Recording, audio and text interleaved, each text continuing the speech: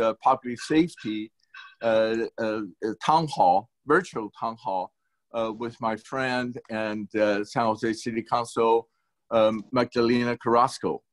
We have a slew of uh, top uh, public safety law enforcement officials, agencies here with us to talk about uh, how can we keep ourselves safe and during this uh, pandemic and also you know in the days and the months to come I know this uh, crisis has bring so much uh, uh, stress to so, so many of us in terms of uh, financial stress. That's the utmost one, emotional and physical uh, stress. But uh, it definitely also brought on a lot of stress to our public safety arena. That's why I'm hosting this a virtual town hall because we noticed that there was a surge of uh, hate crime against uh, Asian, and also there's uh, we know there's a very much underreported domestic violence cases uh, uh, ha happening when people are sheltered at home. So making home not necessarily a safe place. We also know there's a, a lot of vandalism uh, targeting toward the uh, commercial uh, properties, you know, uh, and also car break-ins and so on and so forth. And also uh, there's a huge uh, spike on the scam. You know, the bad guys are taking this situation to target not just the vulnerable, uh, community, but all of the the the, the, the people. So the, uh, having this town hall hopefully will give us some um, ideas, you know, how to provide us with some uh, safety hint, hint. And also, I know there's uh, still a shortage of uh, PPE devices, and many of the, uh, the, the police department, the frontline uh, first responder, so I will ask the uh, police uh, uh, chief, captains to pre pretty much uh, please provide us with some information. where can we drop off some PPE, donate some PPE device to, to your agencies? And, before I uh, get on to this town hall, I just want to take a few minutes to talk about what the, the current status of the, the state during this crisis. You know, we in the beginning, we are uh, work, the highest priority is to make sure that we can slow the spread of this virus, and secondly, to make sure that our uh, hospital uh, have the capacity of handling the worst case uh, scenario. And uh, we're going back to Sacramento on May 4th and we'll be focusing on the the, the budget. You know, uh, it's going to be a, a, tough one. Uh, we we know that uh, th- this is really caused a lot of uh, uh, damages to our uh, economy. So, but the state, by constitution, needs to pass the budget by June 15th. So we'll be going back and talk about the budget and, and the recovery from this uh, uh, pandemic. A uh, couple of the area that I will be focusing on, which I have been focusing on for the, the uh, uh, last six years, is really public safety. Public safety is definitely the one. And secondly, it would be mental health services, school-based mental health, as well as providing mental health to those people that don't have access to mental health. The third one is uh, education. We know that uh, the, the, the, student lost a good uh, amount of uh, uh, instructional time this year. how can we uh, get them back on, on track? Will be also a focus of mine. And definitely the economic recovery is, is a, a, big, big, big big thing. So uh, briefly, I, I, I wanted just to share of the, some of the bills that I'll be focusing on, which is uh, uh one was uh, AB 1107, excuse me, and that bill was, was pushed for an extension of uh, additional $600 per week for those people that uh, under unemployment checks. And this is uh, after the uh, federal programs run, run out. So, uh, so uh, the, I know the unemployment issue is a big issue for so many of us. I just wanted to ask you to be patient. The state has um, moved more than a thousand people to, to EDD to handle the, the spike of the, uh, uh the unemployment claim. And I know that we're still not doing a good job. We need to put more resources so you'll be able to get your check uh, sooner than later. But one thing for sure is that EDD uh, payment is the retrofit. So um, you might have to wait a little bit longer, but you, you should have you should be able to get the uh, uh, amount as we uh, clear up this uh, spikes. And the other bill I want to talk about is I, I really want to make sure that large corporation in the county you know, step up the play to help us with the uh, economic recovery. So uh, I have a bill, AB 385, trying to is is to ask the uh, larger companies to pay uh, uh, a headcount or employee tax, and that money will go to the county and the, the city as well as the school uh, instead of just going to the city for the uh, uh for the housing project. So this is a, a, a going to be a, uphill battle, and the other one was to uh, uh, make sure that the uh, public safety specific legislation. I want to thank Chief Petersen for giving me the idea.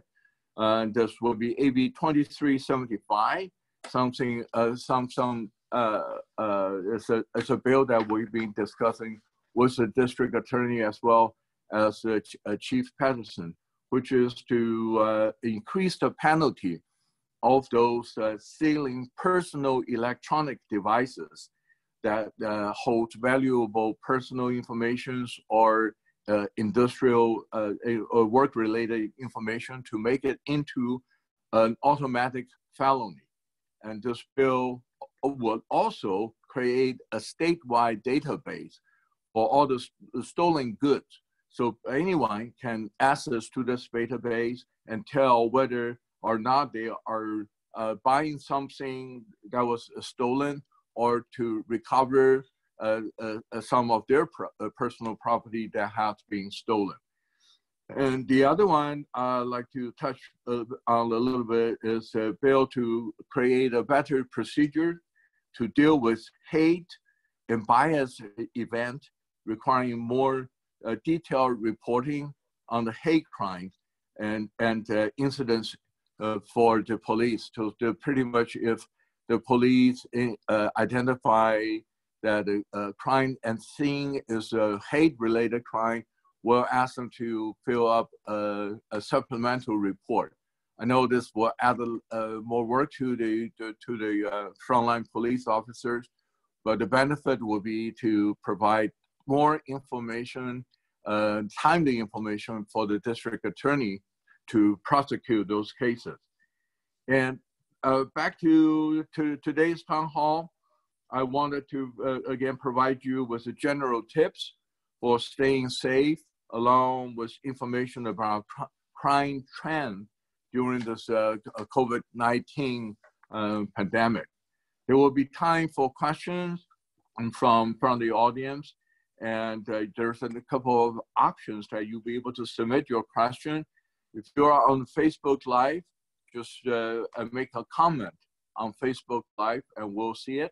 And, uh, and uh, our staff will sort it out and provide a chance to ask that question or you can uh, email to assemblymember.chu, assemblymember.chu at assembly.ca.gov. and we will answer those questions toward the end of this uh, uh, town hall. And if for any reason that we don't have time to answer your question, uh, please feel free to contact my office or make sure that those questions will get to the, the, the right uh, uh, agency and get an answer uh, for you quickly. So before we begin, I'd like to introduce the co-host, um, a good friend of mine, Council Member Magdalena Carrasco. She has been a strong advocate for public safety, especially in the domestic violence uh, issues and and and, and so, uh, so many. Uh, I don't. I wanted to give uh, Council Member Magdalena a few minutes to talk. Uh, thank you, uh, Assembly Member Chu, and uh, and I really appreciate the opportunity to co-host with you. Uh, this is this is such a, a, great opportunity for us to reach out to our constituents and to all the residents in our great state of California. But I really want to thank all of our law enforcement uh, representatives that are here. Look at this wonderful panel that is represented here today to be able to speak on such an important subject, which is public safety. And of course, it comes in so many different ways. But of course, with uh, the challenges that we're now facing with COVID 19, otherwise known as coronavirus, uh, we really are, are facing uh, many other challenges and how we address that is going to be uh, really the new wave of doing business uh, here, not just in California, but really uh, globally. We weren't anticipating what we're seeing. Uh, we were getting ready for different kinds of uh, emergencies and, and uh, natural disasters. Little did we know that we were going to be facing a pandemic that literally stopped us in our tracks uh, you know, it was like uh, crashing into a brick wall. Suddenly, everything came to a, a screeching halt. So I'm I'm grateful to have all of you here with us to address, I think, some very pertinent questions and and issues that are really on everybody's mind: domestic violence, how we deal with uh, vandalism and uh, burglaries, how we deal with uh, family safety, and how we keep our kids uh, uh, above everything else safe and how we secure their future. And so I represent the east side of San Jose. Uh, I, I, see Captain Ta, who's here, and of course our, uh, our uh, wonderful DA, Jeff Rosen, who represents uh, the county of Santa Clara, many others who are representing us uh, in a, a very uh, respectful and dignified manner. And I really do appreciate your service. Uh, a couple of things that I really do want to address uh, that we're doing in the city of San Jose. Of course, public safety comes in many different ways and it takes a collective effort and it does take a village to raise our uh, families. So uh, we've been very busy, really busier, I think, now that we're uh, sheltering in place, uh, trying to be very creative in how we do outreach, how we connect with our families, how we keep everybody safe. Uh, public safety is uh, of paramount, but uh, uh, the public health is uh, become very critical. We we have a stay uh, a shelter in place, which was which was a mandate by the county, of course, also by our governor. it was it was a necessary mandate which uh, meant that suddenly our economy came to a halt. People are left without an income. There's a lot of challenges that come with that. So a couple of things that we've done in the city to protect our families is uh, we we put in place a sick leave, a mandatory sick paid sick leave, which uh, ensures the public safety. That means that if you're impacted by COVID-19 or you're taking care of a family member, we don't want you uh, handling our food. We don't want you at the grocery store. We don't want, even if you're an essential worker, we don't want you out there uh, risking the rest of us or risking yourself. We want you to stay home and take care of yourself. And we want you not to have to decide whether you you get paid or uh, take care of yourself. So we're we're mandating, uh, uh, especially small businesses, to take care of you by paying you so you can take care of yourself. Uh, we're also putting a moratorium on evictions. That's not a moratorium on your rent. Uh, you're still going to have to pay your rent. You're still responsible for that, but you are safe from being evicted at least until the 31st of May. And then after that, you have 120 days to pay your back rent. Now, we're hoping that we're going to be able to extend that because we know that even after we lift the uh, stay order, people are not going to be able to get back to work as quickly as we would hope. And the economy is not going to um, uh, return to what we used to, what we were used to, and what we were uh, accustomed to by all intents and purposes, it's going to be a very slow process. Uh, the economy is going to open up very, very slowly. Not everybody's go- going to go back to work at, at the pace that we'd like. So we're hoping that we're going to be able to extend that, or at least that our landlords are going to be very compassionate and empathetic and that they're going to be able to work something out with their renters. We want to make sure that we don't have mass um, uh, evictions and we don't see folks out on the street. And so we are either going to extend the moratorium or uh, hoping that we're going to be able to work something out with our landlords. Of course, uh, uh, we've been working with a lot of partners. We wouldn't be able to do this on our own. This is a uh, a, a, mass partnership that uh, that uh, calls for all hands on deck in order to make sure that we're meeting the needs of, uh, of not just the city of San Jose, but we have a partnership with the Santa Clara County, which means that we're feeding over 2 million folks uh, um, on a weekly basis. We went from 1.2 meals a week to now 2 million meals that the city of San Jose is in charge of. Uh, this, the county of Santa Clara is doing uh, uh, other, they're in charge of other responsibilities, but they've asked us to be in charge of food distribution. And so uh, it requires a lot of partnerships through school districts, through nonprofits, which means that we've, uh, we've increased uh, their, their grants in order to be able to do that. Of course, we've also opened up many beds for our houseless population, which includes over 500 hotel rooms in order to be able to get our houseless population off of the streets. And we're still working on making sure that our, our uh, houseless population uh, is also able to uh, uh shelter in place and be able to secure their, their uh, well-being and their health. So um, uh, the other thing that I just wanted to quickly mention, you know, uh, since all of this started, we've seen an uptick, and I'm sure that our uh, our officers here and our representatives will talk about the increase in hate crimes are, against our API community. We have a no tolerance in the city of San Jose. We just passed a resolution just last week. Um, we we are an inclusive city. We believe that the diversity of our city is our strength, not our weakness. We will stand by our API community uh, and we will not tolerate that. We have seen a rash of uh, vandalism. Uh, I know that I spoke with Captain Ta about that just a couple of days ago. We don't know what the root of the cause is. I can't ascertain that. Uh, I'm sure that uh, our, our, folks are, are, are uh, busy investigating that. We'll find out sooner uh, versus later uh, because we have great officers at work looking into that. But regardless of what it is, we're not going to tolerate that.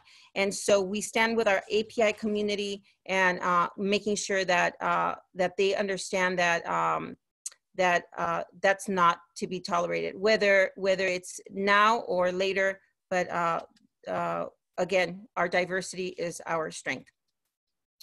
And, and the last thing that I do want to mention, which is a, a huge concern to me, is uh, the issue of family violence or domestic violence. And we just got off of a of a of a, another Zoom uh, conversation. Uh, of course, our, our DA was uh, a part of that very important conversation.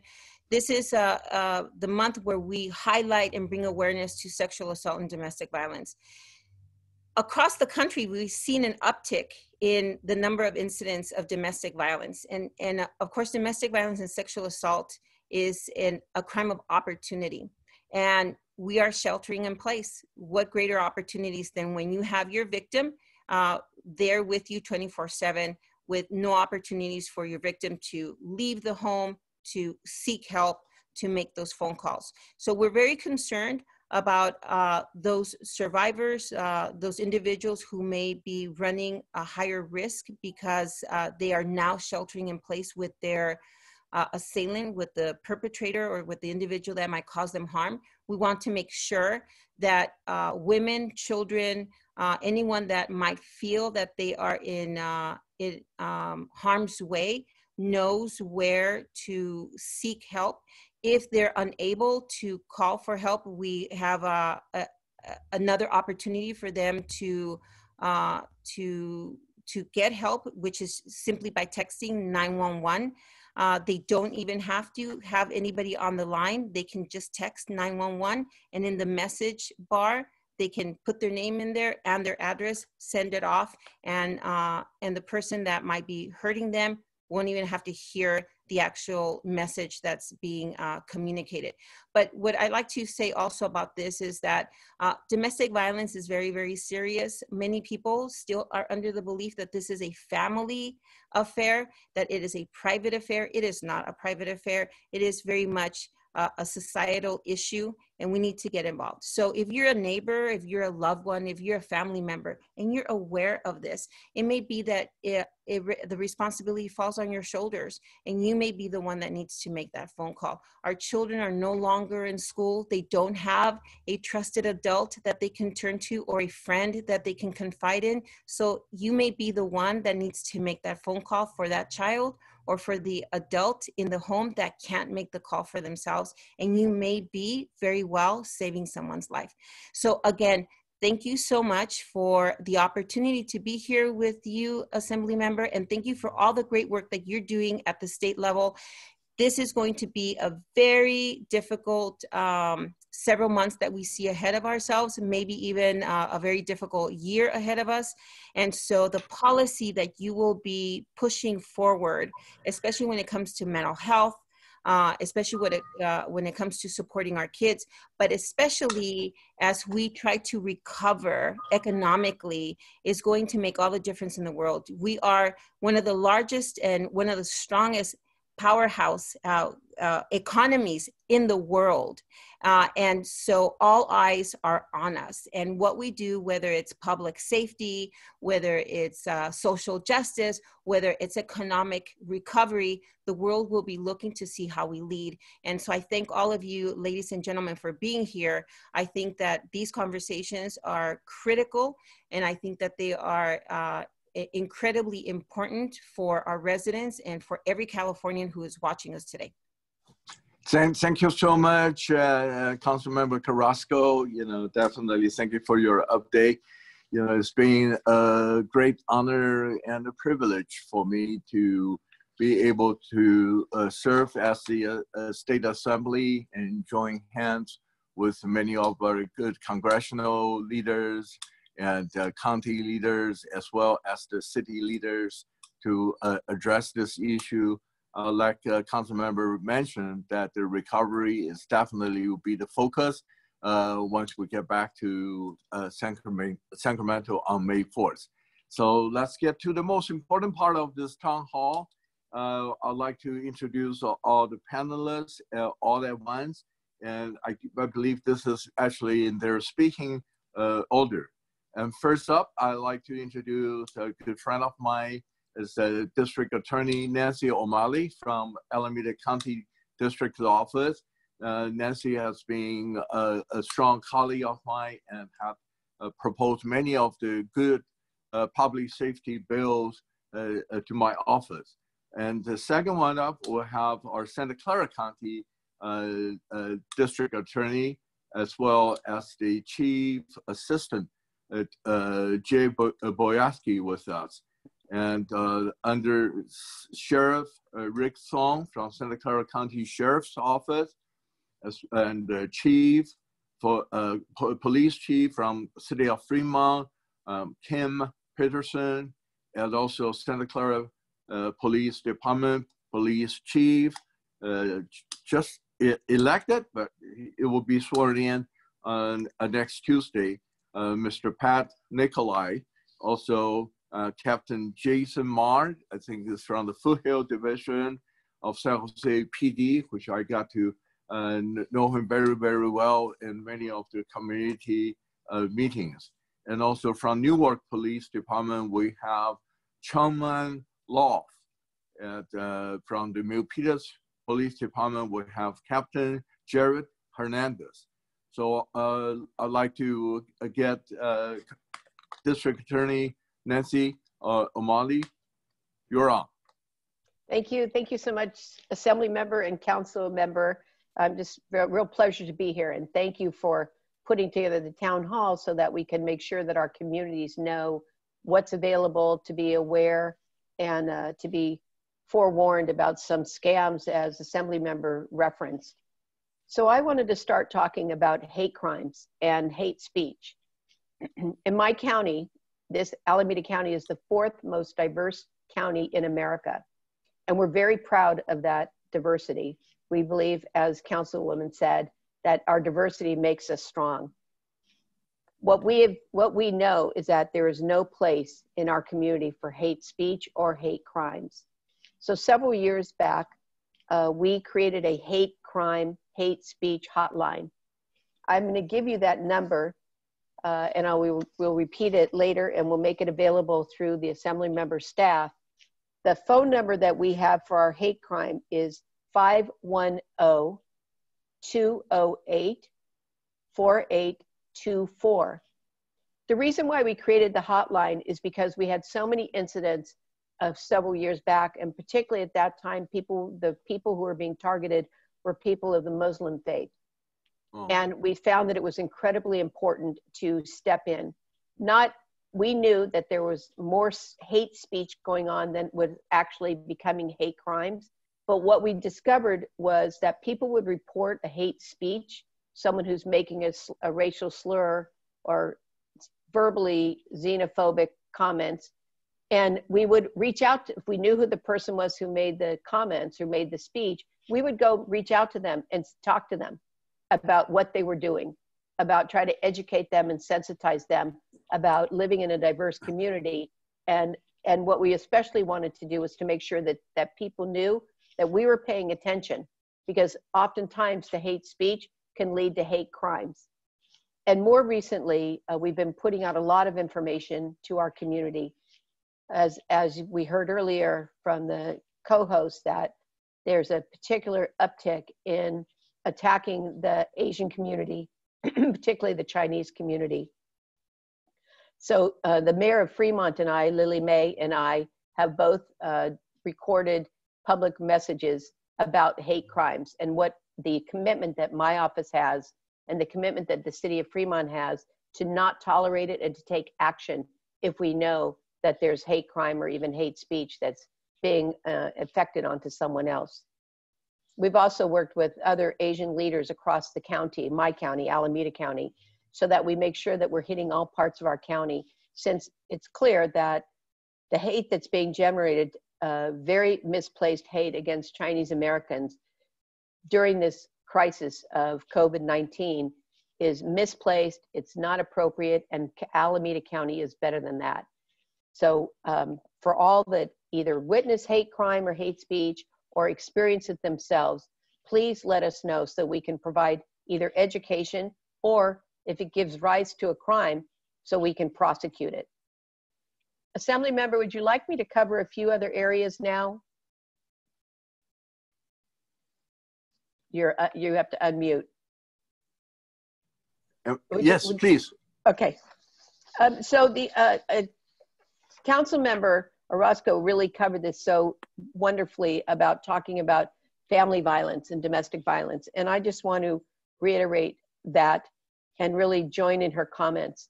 Uh, we are very concerned about what's happening inside the homes when people are sheltered in place. We know that there are victims of domestic violence who are now having to be in home with their abusers.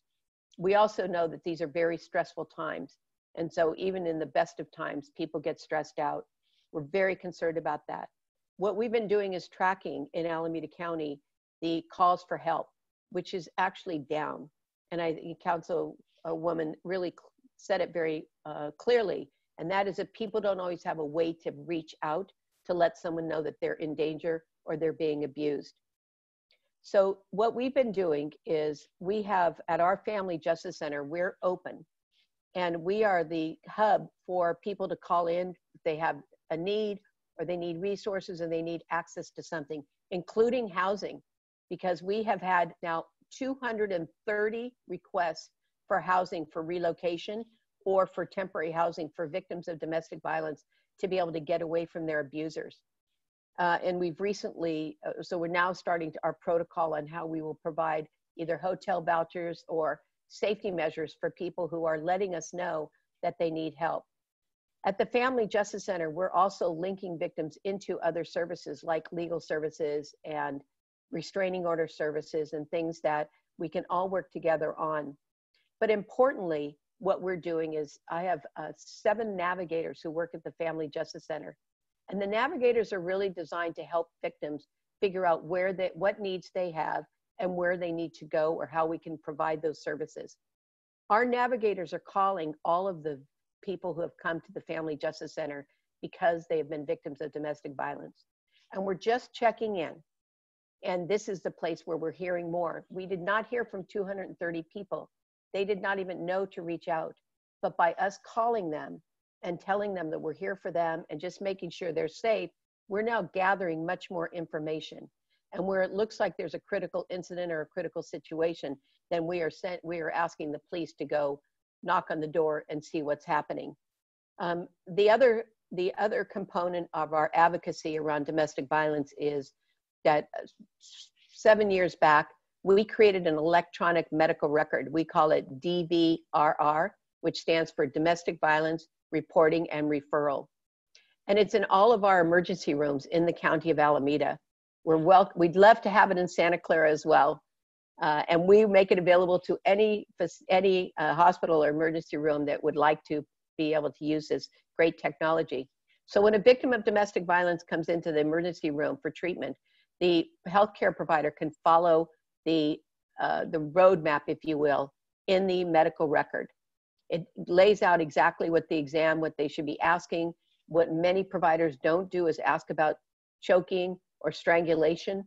Uh, and so, and also in this medical record and medical uh, tool, where the medical provider is documenting injury and documenting what the victim said, is a risk assessment tool, both for lethality and a risk of further uh, future harm. Those are the, the people who have come into our hospitals since COVID has come into our lives and the shelter in place has occurred has gone down but we're still getting, they're still going into the hospital.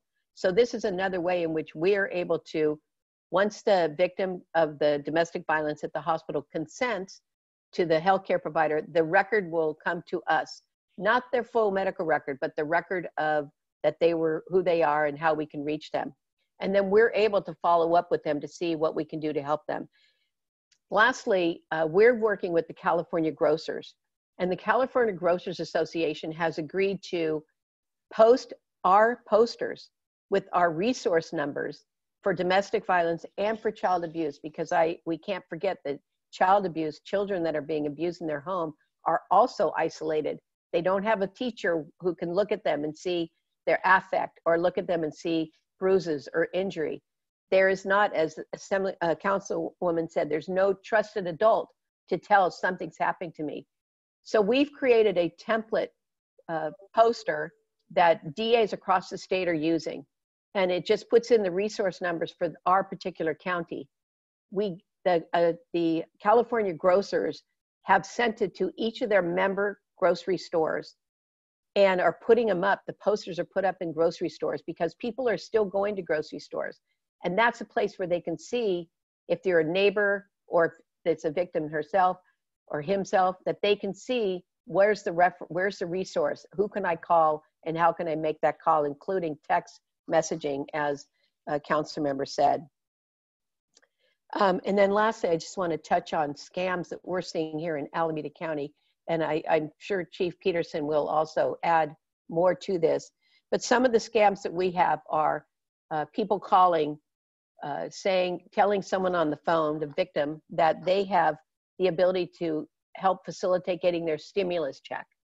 And they're asking for their personal information, claiming that they're going to be an advocate for them at the federal level to get that stimulus check to them faster. So the one, what we tell all of our constituents, everybody, never, ever, ever give your personal information over the phone to someone. If it's a real government agency, they're not going to ask you for personal information and the stimulus checks are coming from the federal government. they'll come to people's uh, addresses. So there's that. We're also seeing scams where people are calling and saying, you know, grandma, I'm in the hospital, I got tested positive, and now they want me to pay for the bill and I don't have any money. Can you please send me some money? Of course, if a grandparent thinks that's their grandchild, they're going to do everything they can to help. But these are scams.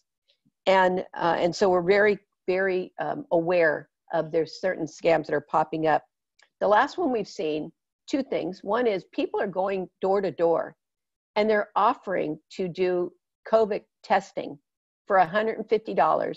And they're saying that they will have the results back within 24 hours.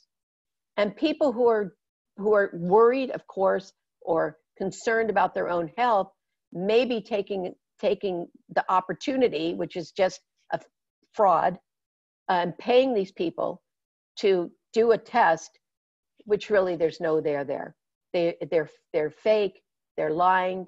There's no testing, and they're definitely not people that are representing the CDC or the public health department. So we warn everybody that if someone comes to your door pretending to be a healthcare provider from the CDC or from public health, ask for identification, but never give any information out to them. Um, and then uh, everybody's looking for face coverings and masks, and there's a lot on the internet selling these. A lot of these are just scams. So people are giving their credit card information through Facebook or through other uh, other online advertisement to get these cool masks or to just get masks or face coverings.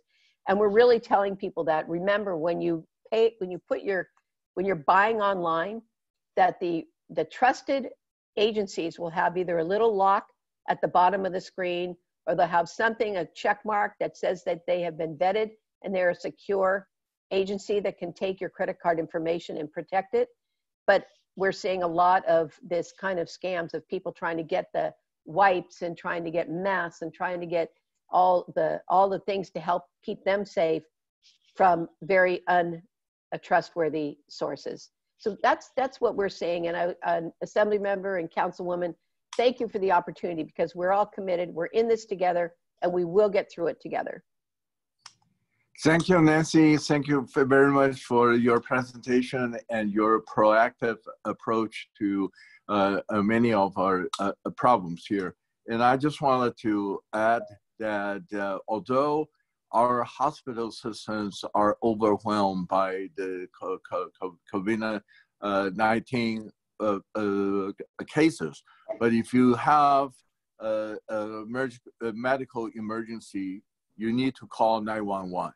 There's still capacity there to really handle uh, a lot of uh, uh, other type of medical emergencies. So next, we'd like to have the District Attorney Jeff Rosen. Jeff, are you on? Yes, I am. Yes, hey, hey, how are you, Jeff? Great. Well, thank you so much for having me, Assembly Member. Thank you so much for having me, Council Member. Uh, I think as we all know, this pandemic has it's disrupted our lives, our jobs, our families, our plans. And I think the most important thing that I can tell the viewers uh, is what has not been disrupted, what has not been broken, and what has not changed. Uh, COVID 19 has not prevented my office or law enforcement from keeping our community safe. And we're going to continue to do that. Uh, I think I would just start by just saying a word about how our office and the DA's office has evolved during this uh, COVID crisis. Uh, fortuitously or fortunately for the last several years, we've strengthened our computer and information technology systems to operate electronically and without paper. And this has enabled us to do more and more of our work outside the four walls of the buildings that comprise the DA's office.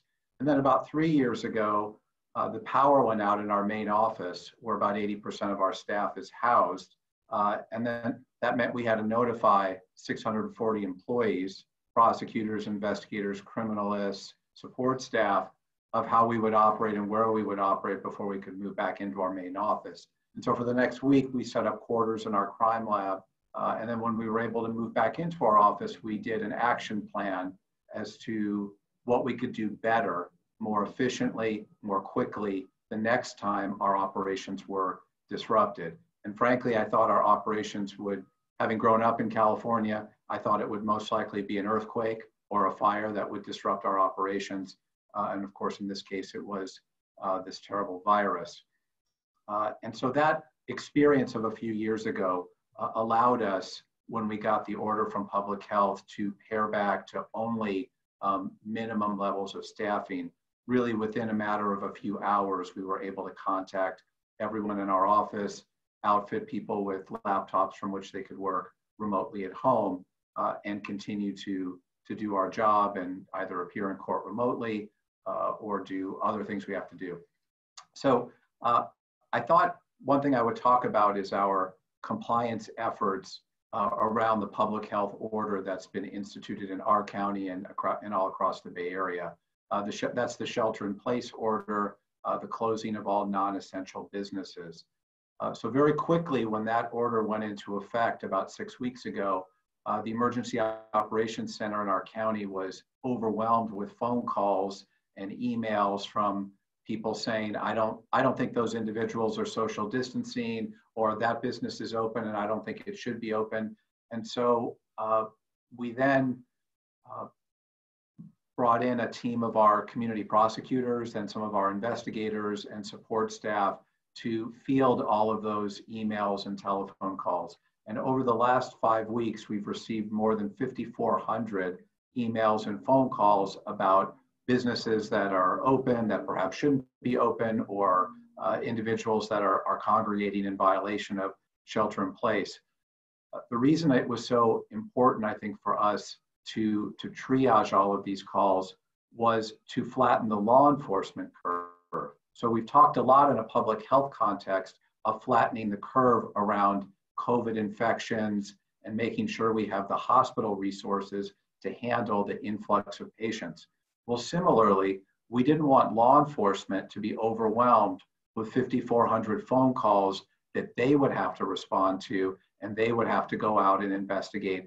And so, what this enabled us to do was to preserve the scarce law enforcement resources that we have in our county and that we have in, in, in all of our areas to preserve those for, for 911 calls and violence and things that the officers needed to respond to uh, immediately. Uh, what I can say in terms of compliance efforts for our county is that the overwhelming majority of our residents and businesses are voluntarily complying. Uh, for the small number who had not been complying, uh, a phone call from a deputy DA or from a DA investigator generally did the trick. If that didn't work, maybe an investigator would go and visit the business, uh, or perhaps we would talk to our law enforcement partners in that particular city. They would visit the business that took care of almost all of the problems. There's about maybe a handful of businesses and individuals uh, that ultimately needed to be cited by the police.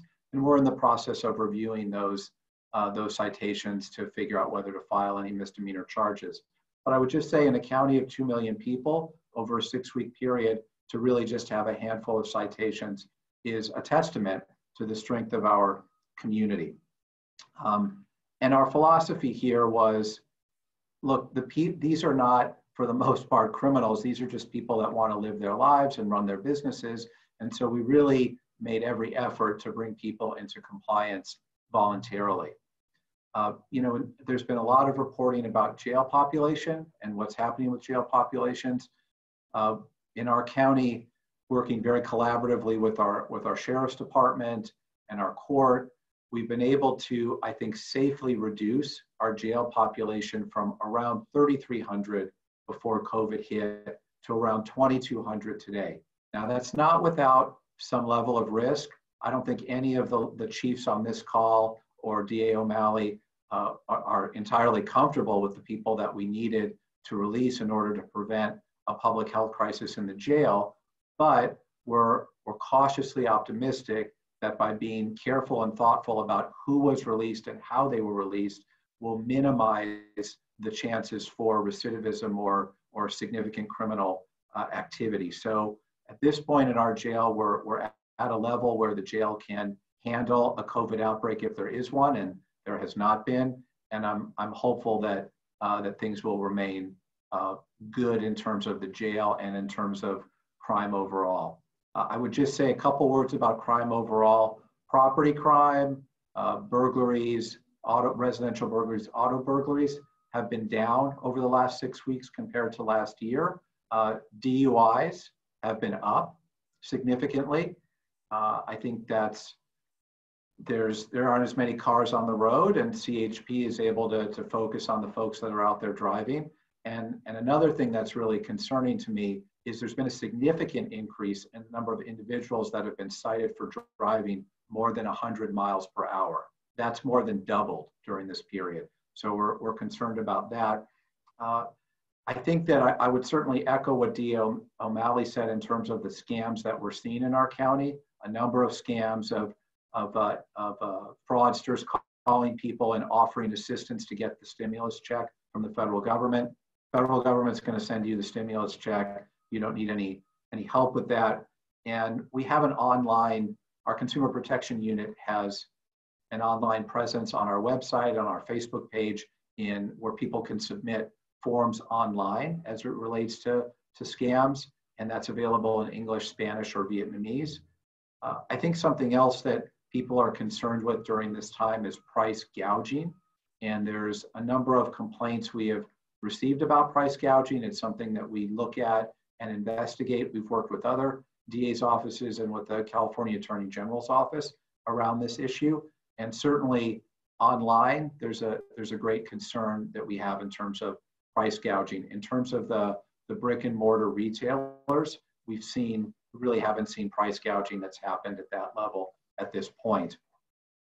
Um, I think that that along with Councilmember Orozco and D. O'Malley, we're very concerned about sexual assault and domestic violence.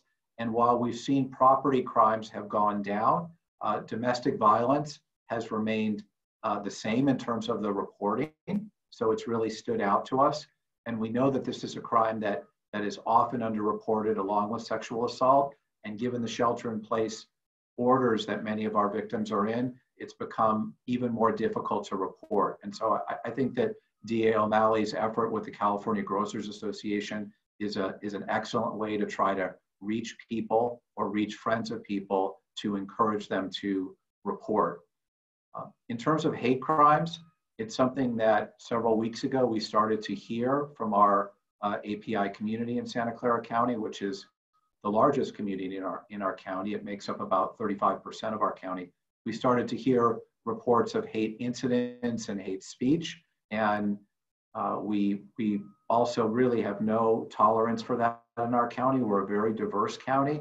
And so one of the things that we did was do a public service announcement, about 55 second long video that uh, we're very fortunate that it got a lot of play in the Washington Post. It was was played on local television several times, and more than 10,000 people have viewed it on YouTube.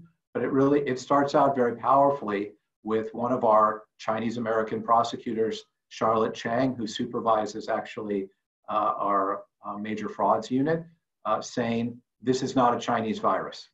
And I think that that's a message that really resonated with all of our community. And the point that we made there is, uh, you know, when you attack someone because of their race or ethnicity or national origin, that's really an attack against all of us in our community. So we, we did this PSA to try to empower victims to report because we know this is a very underreported crime, uh, and also to try to deter would-be perpetrators that there will be consequences and we will aggressively prosecute these crimes. And then, perhaps most importantly, to remind our community of our shared values of, of fairness and respect and equal treatment for everyone. Uh, we've filed one hate crime case already, a misdemeanor hate crime for uh, a Vietnamese couple that was threatened in San Jose. Uh, that case is being uh, prosecuted currently. Uh, in order to try to uh, encourage sexual assault and domestic violence victims to come forward, uh, we're going to be putting out a public service announcement with our, our partners at San Jose PD in the next few days. And we hope that's something that will encourage victims to report. Our family justice centers, two of the three are open in our county, uh, in San Jose and in the south part of our county. And our victim services at the DA's office is open. Our lobby is open. We're responding to phone calls. We're responding to in-person visits, to emails. And what we've seen is a great demand for, for food, for money for food for victims, uh, for shelter, for counseling services, and we're still uh, providing those. So that's really what we're seeing in our county. And I just want to uh, close by emphasizing that we were very well prepared for a crisis uh, in terms of being able to very quickly operate remotely. Uh, and we're, we're able to do our work, whether we're in court or in our office or at home. We continue to do everything we can to protect our community and, and to watch over our residents. And it's really a, a pleasure to be on this uh, town, town hall uh, information program with all of you. So thank you, Councilman, Council Member, and thank you, Assembly Member.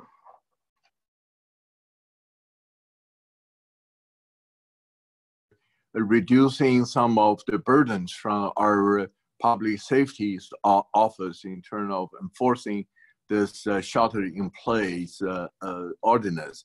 And I want to take this opportunity to thank the public for really, really doing a great job of keeping the social distance and, and shelter in place. I mean, you pretty much redrawn the line in terms of the number of uh, uh, hospitalizations and hospital uh, people that actually pass away because of this uh, contagious virus. You know, there's a, a stat, statistic to say that you know your work, you know, uh, uh for keeping a social distance and shelter at home, save at least thirty to forty thousand of life. So I want to also take this opportunity to thank the public for uh, following this order. And uh, I know that uh, Jeff has another uh, an, important engagement, and uh, uh, your uh, um, Boyarsky will be here to answer any questions. So we'll move on to the next speaker, which is the Under Sheriff Rick Sung, representing the sheriff to, from Santa Clara County, Laurie Smith. And Rick, you're on. Thank you very much, Assembly Member. I really appreciate you uh, for calling this town hall meeting, and Council Member Magdalena Carrasco, of course. It's been a while for uh, co-hosting. Uh, as we all know, how critical uh, to is to address uh, these issues uh, during this time of crisis. So, for the next few minutes, I'd like to share the numbers on some of the calls for service in the Sheriff's Office jurisdiction. Of course, uh, DA Rosen, uh, Mr. DA uh, had covered the statistics for the whole county, which will probably be the true reflection of what's going on county-wide. But the statistics that I'm going to provide, of course, covers our jurisdiction, which is the cities of Cupertino, Saratoga, Los Altos Hills, as well as the unincorporated pockets throughout the county. Uh, and also the climate of the community and our response uh, related to shelter in place order and of course our office's ongoing efforts to uh, prevent uh, the spread of COVID. So let's start with hate crime. Uh, while many of our residents are, are worried about the hate crime taking place uh, throughout the nation, uh, I am, and I think the DA uh, Rosen had mentioned this also, pleased to report that really no crime has been reported in our jurisdiction, in the sheriff's jurisdiction, which covers those aforementioned areas. Um, and throughout the county uh, in our jurisdiction. And I can say that our residents are uh, fortunate to live in a, such a diverse community where most residents, might not be all, but most residents respect other cultures. We did, however, uh, hear about a couple of hate incidents in which verbal insults took place uh, based on our residents' origin. Uh, just to have a better understanding, of course, for those, uh, those folks that are listening in, hate incidents is an action or behavior motivated by hate but not a crime. Uh, when such an action or behavior starts to threaten a person or property, then it may become a hate crime. Our advice, if you uh, feel that you're being a victim of hate incident or hate crime, uh, don't try to take the matter into your own hands. Uh, just call 911 and have law enforcement officers respond uh, to handle the situation. And uh, I agree with both DAs. there's simply no room uh, for hate incident or hate crime in our community. So just wanting to, to, to throw that out there. Uh, stats on domestic violence and family disturbance calls. Uh, in our jurisdiction, uh, between March 16, uh, when the shelter in place order went into effect, and April 16th of 2020 compare to the same time frame in 2019, uh, domestic violence related calls for service went up slightly uh, by approximately 10%, and family disturbance related calls uh, increased uh, by close to, uh, say, about 35%.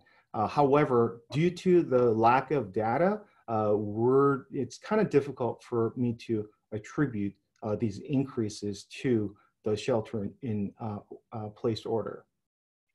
Stats on commercial and residential burglaries during the aforementioned time frame, commercial burglary rate nearly doubled. Uh, but again, uh, since most folks are staying home, so residential burglary rate went down by more than half.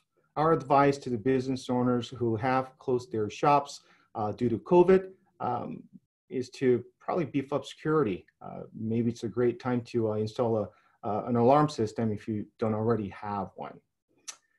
On our office's uh, response to shelter in place order, as far as the enforcement of the order, our office implemented a first education, then citation approach, uh, as most residents really aren't fully aware of the restrictions under the order. Uh, since the order went into effect, our office issued only one citation for the violation.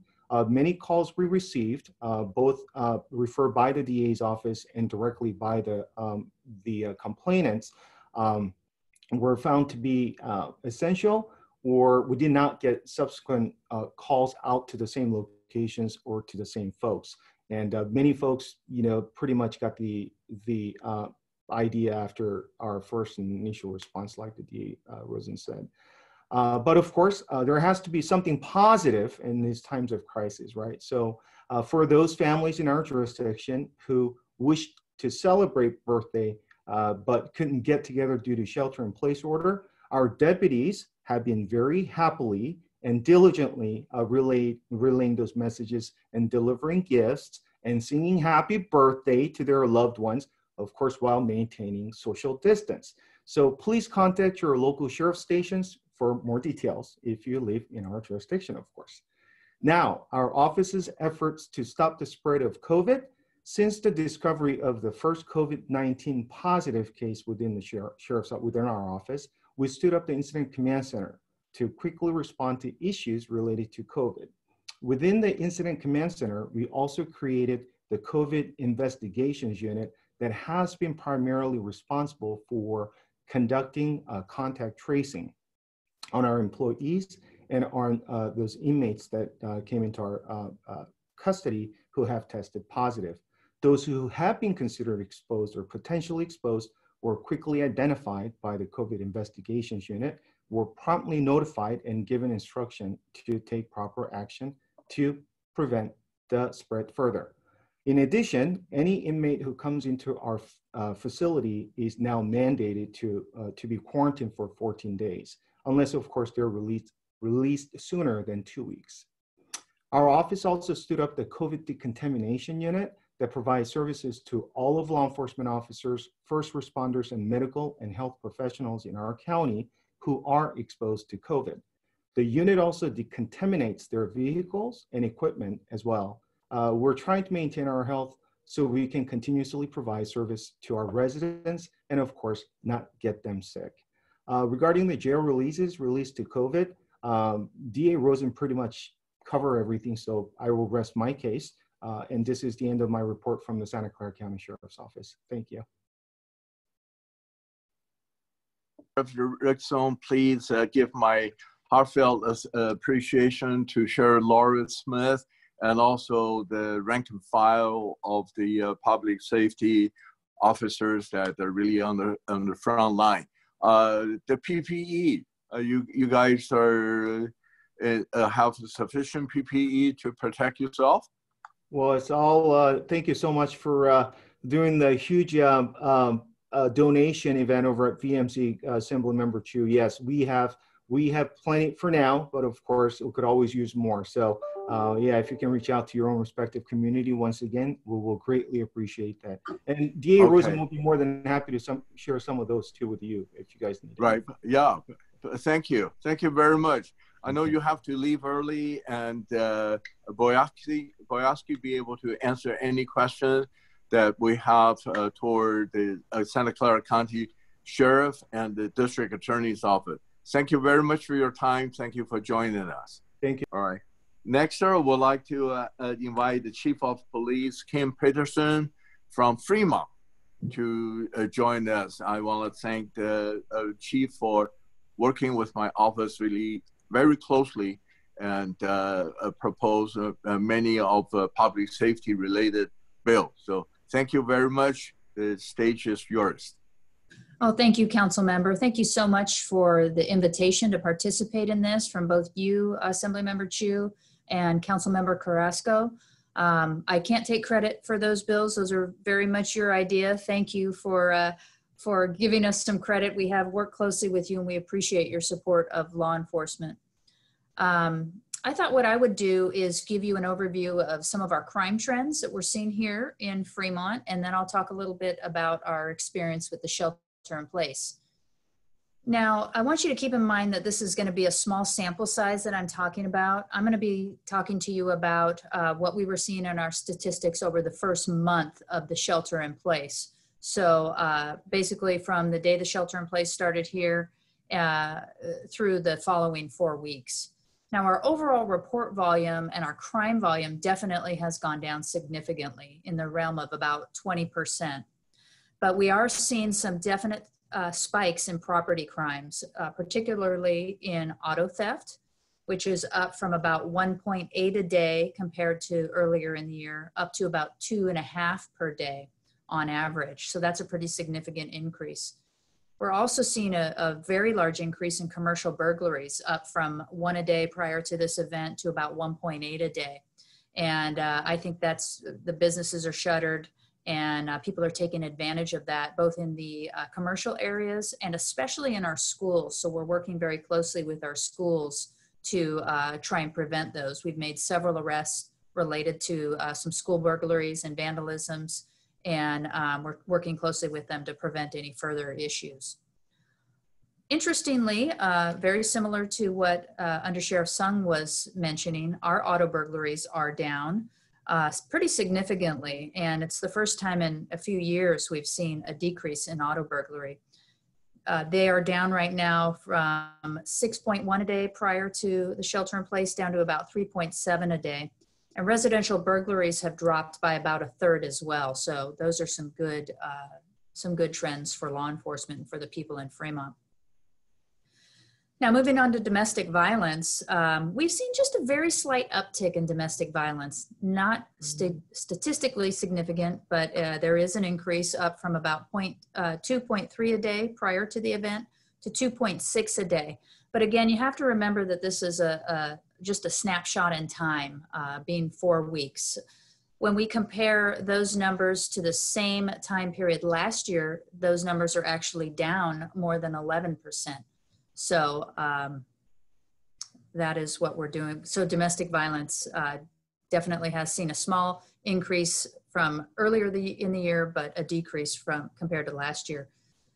Now we do partner with SAVE, their uh, domestic violence advocacy group. We have one of their advocates uh, working here in our building. We have access 24 seven to victim support. And as DA O'Malley mentioned uh, before, we've partnered with her uh, in promoting awareness of the hotlines, et cetera. Um, I really just want to take a minute to thank DA O'Malley for her leadership in this area, uh, particularly in uh, the area of domestic violence. So thank you. Thank you, Nancy. Moving on to hate crimes, again, similar to what Under Sheriff Sung was mentioning, um, we have had no reports of hate crimes over the first month of the shelter in place. Now, that doesn't mean that it's not happening. Uh, it could mean that uh, people simply are not reporting it, of course. And so uh, we did uh, early in the shelter in place, uh, we did some public service announcements and social media awareness campaigns to make sure people understood uh, that we will not tolerate hate crimes. And we know that they are happening, but it's, it's very possible that people are not reporting them to us. Now, there are some other options. If people don't feel like they can report it to the police or they don't feel like it rises to the level of an actual crime, there are hotlines. Uh, DA O'Malley has a, a hotline uh, through her office. There's another hotline that has been promoted quite a bit recently. That one is established by the Asian Pacific Islanders Center, and that's intended for hate crimes against the Asian community. And that's important to us in Fremont. Uh, we are a community that's comprised of over 51% uh, Asian uh, population. So we continue to do outreach to our community and urge people, if they have been a victim of either hate crimes or hate speech, to please report those. Now, moving on to the county shelter in place order, we received in the first month of the shelter in place, we received over 800 complaints of violations.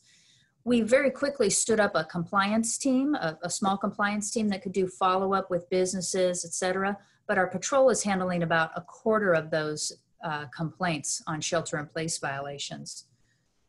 Now, our approach is really to attempt to gain uh, voluntary compliance. And to that end, we've actually been very successful. We've had to work with uh, businesses of all types, large and small. We have we have thousands of businesses here in the city of Fremont. And then, of course, it goes right down to the individual who might be violating a shelter in place order. But for the most part, people, you know, they really understand the need for this. Maybe it was, uh, maybe they forget, maybe it's inconvenient, maybe they ended up uh, sitting too close to another family uh, at a park and having a picnic. And when, when they're asked to move, for the, for the most part, they uh, are very willing to comply. We have begun issuing um, some formal warnings for businesses that we have had more than one complaint on or that has been open after the first time we visited. And again, we so far have been successful in, in gaining compliance. Uh, some of our complaint trends, our, our biggest complaint trends were in the areas of the various parks, one being the Mission Peak uh, access point on Stanford Avenue.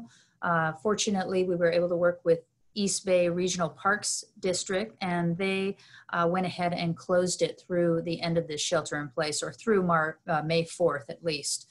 And uh, that was significant for our community because that was um, that was a real pain for the for the neighborhood that was seeing so much influx uh, for people who still wanted to go hiking from outside the area. We also see uh, some complaints over at our Central Park. Uh, businesses, of course, have some complaints. Um, that's I'm just giving you some of the trends. And then we are still uh, receiving a few complaints on some churches and places of worship. So we're following up with those uh, locations. And then construction remains um, I think for the most part, confusing for many people uh, who may not understand the shelter in place order. And frankly, it can be a little bit confusing for, uh, you know, city officials as well as we have to really look into the details of the order and figure out what type of construction is allowable and what, what type is not. So those are some of the primary trends on the shelter in place. One thing I thought it was important to talk to you about is the recent Judicial Council statewide emergency bail schedule that was enacted back on April 13th. And this is really important for the public to understand. Um, there was 11 separate rules that this Judicial Council made, and, and this is these rules um, apply throughout the state. The Judicial Council is, is um, led by the Chief Justice of the State Supreme Court, and they came together because they you know very well intentioned wanted to make sure there wasn't any sort of outbreaks in the jails of covid-19 and they wanted to protect the personnel in their courts as well. So i think uh, these rules were very well intentioned. One of these rules was the enactment of that emergency bail schedule uh, which has uh, initiated a zero bail system for uh, most misdemeanor crimes with a handful of exceptions, and then all low level felony crimes, with the exception of crimes listed as serious or violent, and, and those are defined in the penal code. There's about 13 exceptions uh, on those felony crimes. So, what that means uh, from the perspective of law enforcement is that when somebody commits a, a, felony that would be considered outside of the serious or violent definition, so for example, a vehicle theft, if somebody comes and steals your car, Assemblymember Chu, and we catch them, we have to cite them out. We issue them a ticket uh, as long as we can identify who they are. We don't even take them to jail and put them on a temporary timeout. And this is important for the public to understand that this was, you know, not the choice of law enforcement, but it's uh, going to be in place until 90 days until the shelter in place is, or I'm sorry, the state of emergency for the state of California is lifted. So it is important for people to understand, you know, they might, we might arrest somebody for uh, commercial burglary. In fact, we had a case just two weeks ago where we arrested a person who broke into a local um, college and they stole thousands of N95 masks and other uh, PPE. We caught them and we had to issue that person a cite and just let them walk away from the stop. So it's very frustrating for law enforcement. It's very frustrating for the public to see that. Um, some of the misdemeanor exceptions to that are things like domestic violence or DUI. You know, we still are able to to um, arrest those people and and book them into the jails. And I know that uh, Under Sheriff Sung uh, listed out all of the uh, changes that they have made to keep their uh, population safe. And I know that Sheriff Ahern has done the same. So um,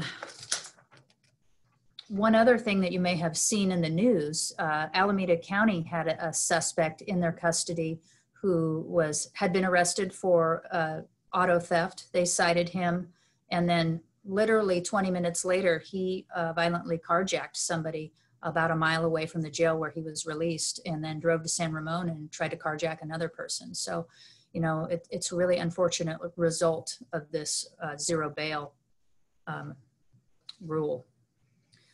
So, you know, we just want the public to understand it. Um, our police officers continue to remain at the ready. They are out there for you.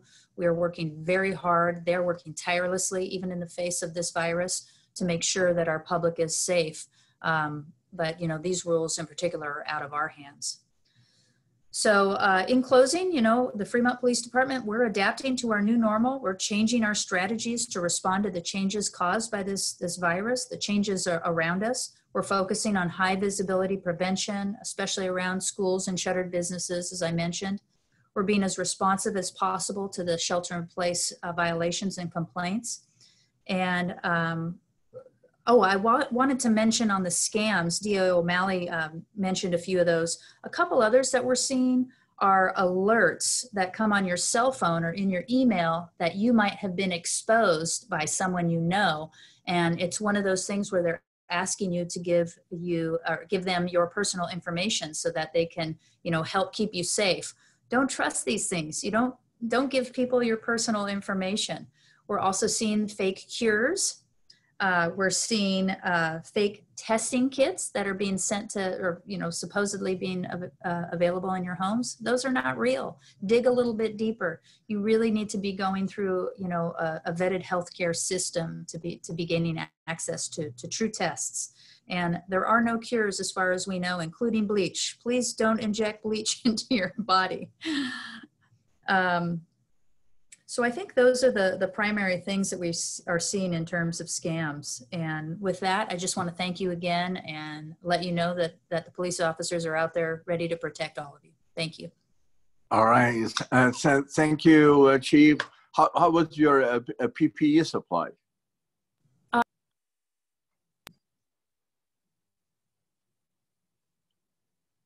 I, I can't hear you. It's, yeah, could, could, yeah. No, we we keep, I keep trying to unmute, and then then the oh, uh, is is muting me again. We're fighting there. So our PP's uh, e-supply is is very good. Uh, the community has been really generous, really helpful. Um, we've had to turn away. Uh, people are, are giving us food. We we are we we are grateful for that gesture. We are not accepting food at this time. Please give it to the folks who who truly are in need of that. We know there are many seniors out there who need food. We know there are uh, homeless who need food. Um, we are accepting uh, some limited PPE, but for the most part, we are really set and, and we're right. really grateful to the community for stepping up and helping. Thank you. All right. Well, uh, again, you know, please give my appreciation to the rank and file. Thank you very much for your uh, clarification about this zero bail uh, uh, issue. Those criminals, are they facing any consequences after this emergency uh, ordinance is lifted, or they were just? Yes, that that, that certainly is the hope. I the, I would say that you know I know I I would let uh, DA O'Malley uh, speak to it herself, but I'm confident uh, they will be prosecuting these things. Uh, my biggest concern is there's going to be a big backlog at that point. Um, but yes, it is. Uh, the, the intent is that they will be prosecuted after the fact. Yes.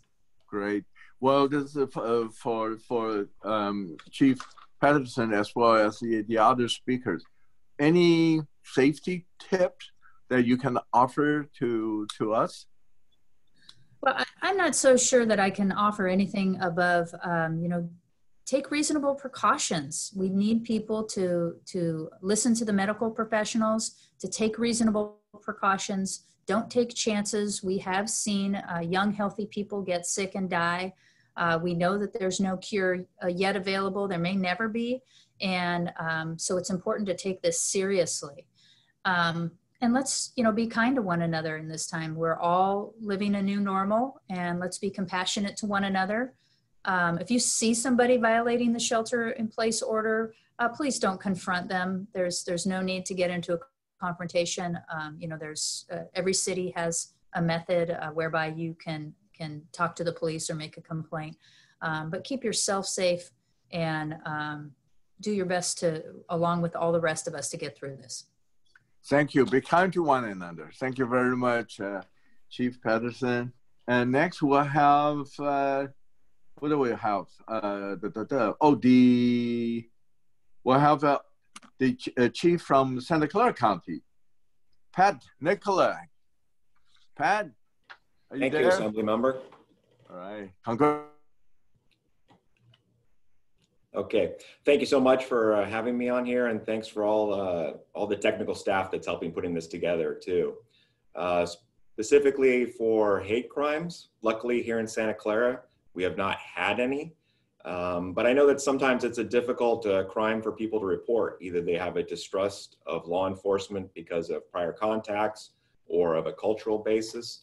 So we're going to be reaching out uh, on our social media platforms to encourage anyone who thinks they are a victim to contact us and, and make a report. Um, and I'm, I'm new to social media. I'm just getting up to speed. I just created my first Twitter account. I have a whopping two followers. So I'm hoping that we'll be able to get the message out uh, through that. Um, in regards to domestic violence calls, now we have seen a, a dramatic increase in domestic violence calls. Uh, overall, our calls for service are down, but when you compare um, last year to this year, we've had nearly 100% increase this month in domestic violence calls. And the other problem that we're seeing is that they are more violent and we see a lot more significant injuries. And it seems that the stressors of the, the shelter in place are really beginning to manifest themselves um, physically. Now we have a pro arrest policy and we, you know, we have numerous resources available to victims and we, we encourage people to report um, suspected domestic violence. Um, you know, people are calling about social distancing violations, you know, people standing too close. Well, if they're willing to do that, I hope they'd be willing to report when someone is being uh, victimized um, at home. Uh, regarding property crimes, we have started to see an increase. Again, it's commercial um, burglaries. And uh, I don't know why, but catalytic theft converters are, um, uh, catalytic converter thefts have st uh, started up again. So if you have a Toyota Prius, please park it in the garage. Um, I don't know why, but that's really jumped up. So what we are doing is we're using our crime analyst to help track the uh, locations so that we can put our patrol officers out to try to try to um, catch these people. Another thing we've seen in Santa Clara is an increase in street racing. Now that the roadways are clear, um, especially in our commercial areas, we've got a lot of street racers out. And we haven't seen the sideshows yet, but we're worried that that's the next step.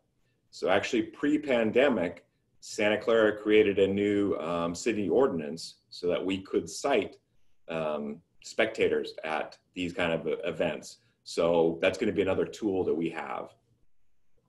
Um, internally, we've been very fortunate. We've only had one uh, officer contract COVID, and so that's that's great news for us.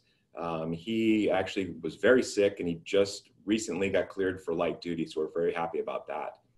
Um, but we have a six person unit now that is doing nothing but uh, COVID uh, related details, uh, collecting PPE. I know that was a concern. We, we've gotten a lot of PPE. We've gotten a lot of donations from our community, so that's great to see. Um, and we're also working on decontamination processes. So I really want to thank the sheriff's office. They set up an incredible decontamination facility. We use that as a model, and we're going to be able to set one of those up for our, our own department. So that's going to be very helpful for us. Now, about the shelter in place order, Santa Clara has had a great opportunity, uh, great response. We haven't had any citations issued. Everybody's had voluntary compliance. And I, again, I'd really like to thank the DA's office for triaging those calls because I know there's many, many calls that come in that we don't have to worry about. And so uh, we're, we're very thankful for that. And like everyone else, we're waiting to see what happens in May. Are the orders lifted? Are they are they going to change? Um, everything I've read says this is going to be a long-term problem. It could be many months or years before things you know change. And so for Santa Clara, a couple of unique things are Levi Stadium. When is the NFL going to start up again? And if it does start up again, are we going to have fans there? We also have Great America, the theme park. Is that going to be open for business? Now, these kind of venues, um, they bring people in from, you know, not only out of out of the area, but from out of state and out of the country. So our concern, obviously, is will that, you know, make us a hotspot? Will we'll have a resurgence in the virus? Um, the bottom line is is that Santa Clara is doing what we've always done. We provide full service to our community, you know, regardless of what the health orders are. And I think when we're through all this, you know, our department's going to be stronger and our relationship with the community is going to be even better. So thank you very much for hosting this, and uh, um, I look forward to, to, working with you. Definitely. Well, congratulations again for your recent election, and my uh, prayers and best wishes to the, the uh, PD that contracted the disease. I'm and glad to know that he's recovering well. Um, are you taking over the uh, the convention center? the security of the convention center of the makeshift uh, hospital? So that's that's been a very interesting situation, and right now the state is going to be in charge of it.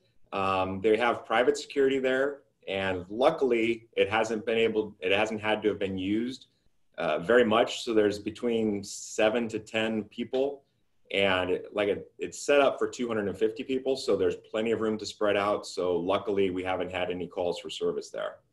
All right great. Thank you very much for joining us. And next would like to uh, ask uh, oh this is my captain from what i love the foothill division jason Ta. Jason i see jason in so many community meetings and i'm so glad that he be able to join us on this uh, virtual town hall are you there, Jason? I'm here, Assembly Member. All right. How are you?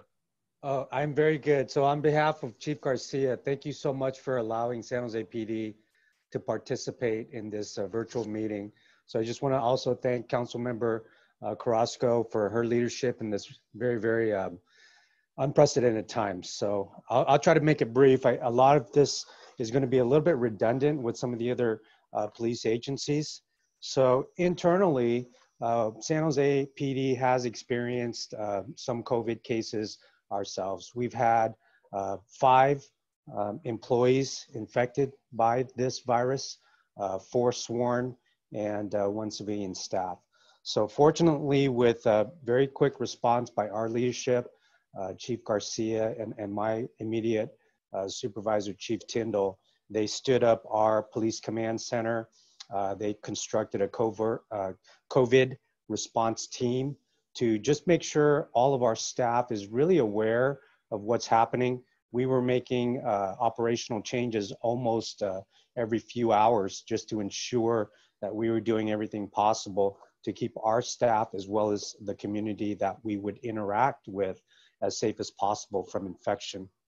Some of the things that we did, uh, just operational changes, uh, temporarily at least, just to reduce the infection, did affect some of the, the call volumes and, and how we interacted with the community. So for example, we had to temporarily close our main lobby uh, just for walk-in reporting and other administrative uh, tasks where people would come in to, uh, for instance, get their, their car back or pay some sort of administrative fee for a report. So that's been temporarily closed just uh, to reduce spread infection rate. We've expanded our online reporting capacity. Um, that has uh, greatly helped us. We've always had a very good footprint with online reporting, but now with this pandemic, we've expanded that capability. We've uh, also, as we are doing here, we're conducting a lot more virtual meetings. Um, the meetings that uh, you and I have attended uh, now seem to be more frequent with the, the virtual meetings just because they are a little bit more convenient. So my virtual meetings have increased uh, significantly, which, which is good. I, I didn't know how to use Zoom before, so I, have learned something. Uh, we've changed a couple of um, uh, protocols with death investigations. Historically in the past, uh, our officers responding to a medical case that involves a death investigation made the assumption that maybe something was suspicious, so we would always take a look uh, before uh, medical personnel would. we had to change that a little bit with the, the virus. we we want to make sure that our staff is safe also. So medical personnel or fire personnel may go in uh, with full PPEs. They have much better PPE, uh, particularly the, the masks, uh, to go in and safely take a quick look uh, if something appears to be um, suspicious in nature, of course, we, we stop right away, we reset, and uh, we conduct a criminal investigation from that point. Uh, crime trends. So some of the crime trends uh, are very similar to the other cities that we've experienced. The trends that we are seeing decrease are our violent crimes have significantly decreased compared to last year. Aggravated assaults, have decreased, robberies as well as gang uh, crimes have decreased during this uh, five week cycle.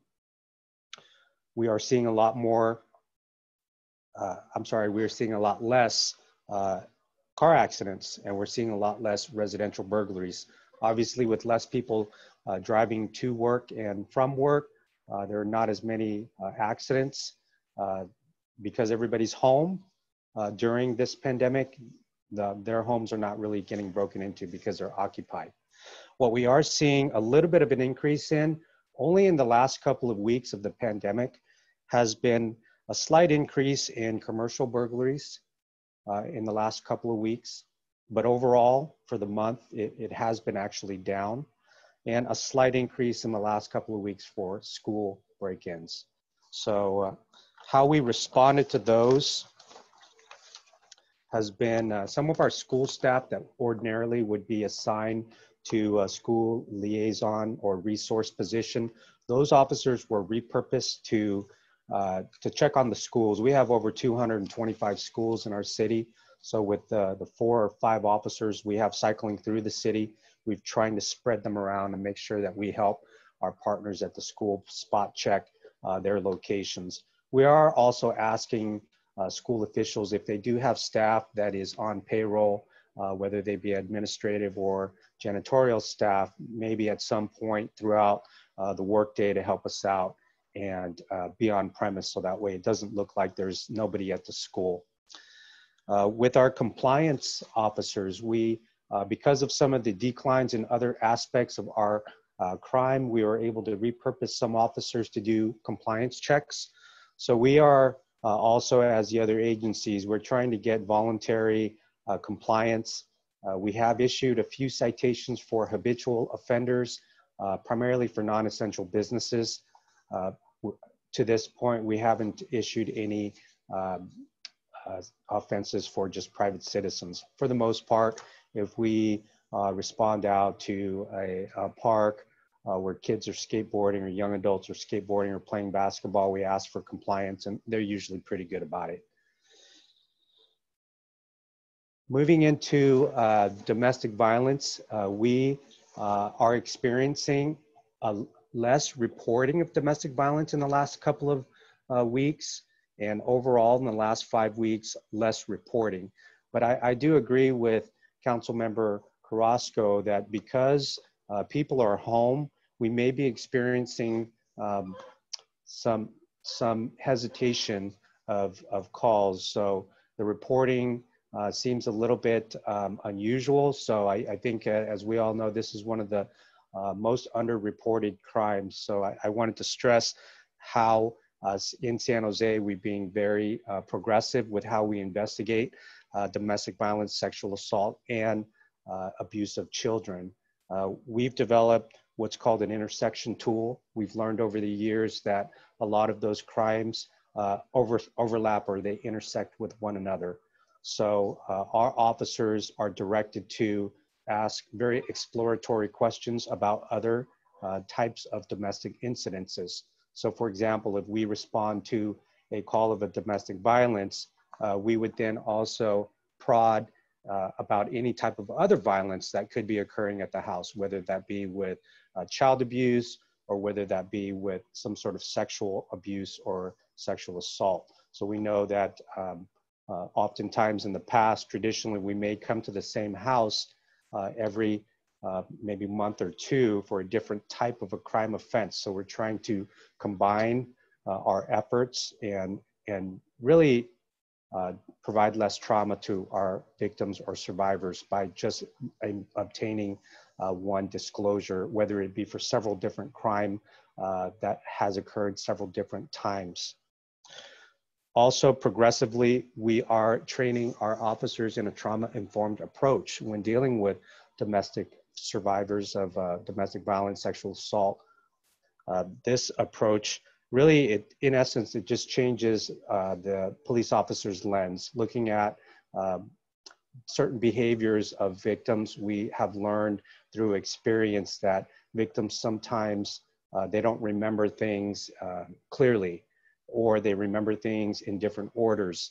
Uh, in the past, law enforcement has looked at some of these behaviors and we become very suspicious that they're, they're based on deception. Uh, we know this is not true with uh, trauma victims. We know that uh, memory is, is greatly affected by trauma and sometimes the uh, defensive mechanisms of victims uh, are interpreted differently when law enforcement becomes involved. So this trauma-informed approach has been rolled out to our detective bureau.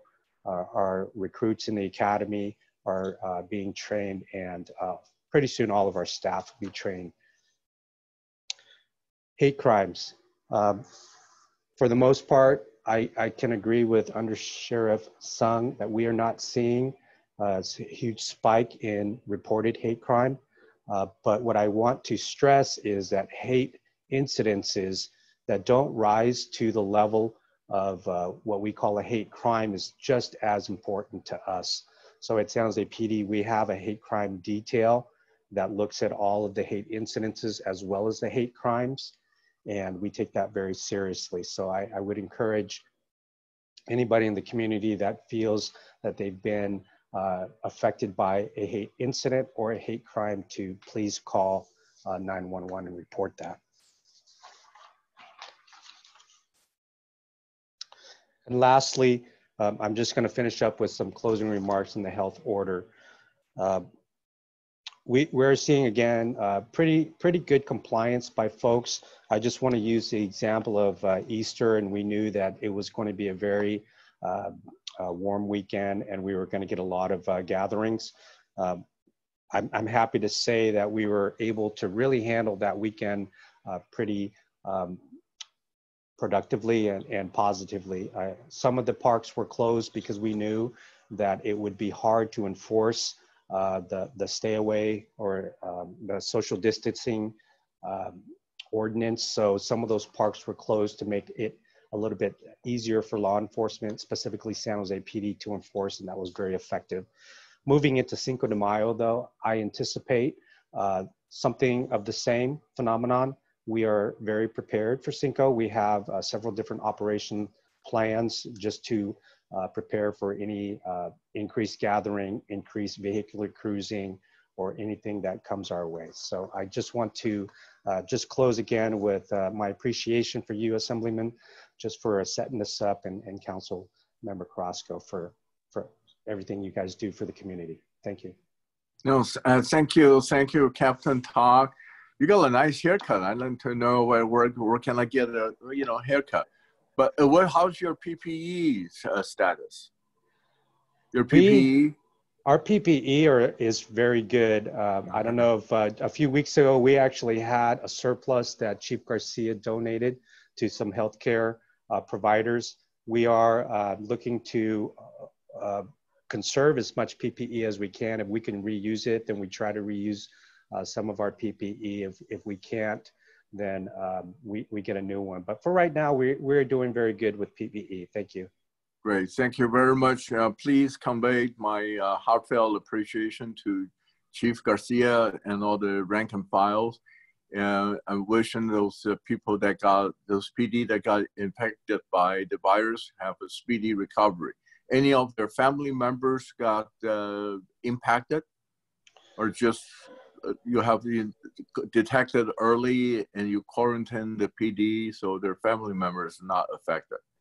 That's correct. It, it just seems right. like it's it's more isolated to the actual employee, and it did not spread to the family members at home. Thankfully. Yeah.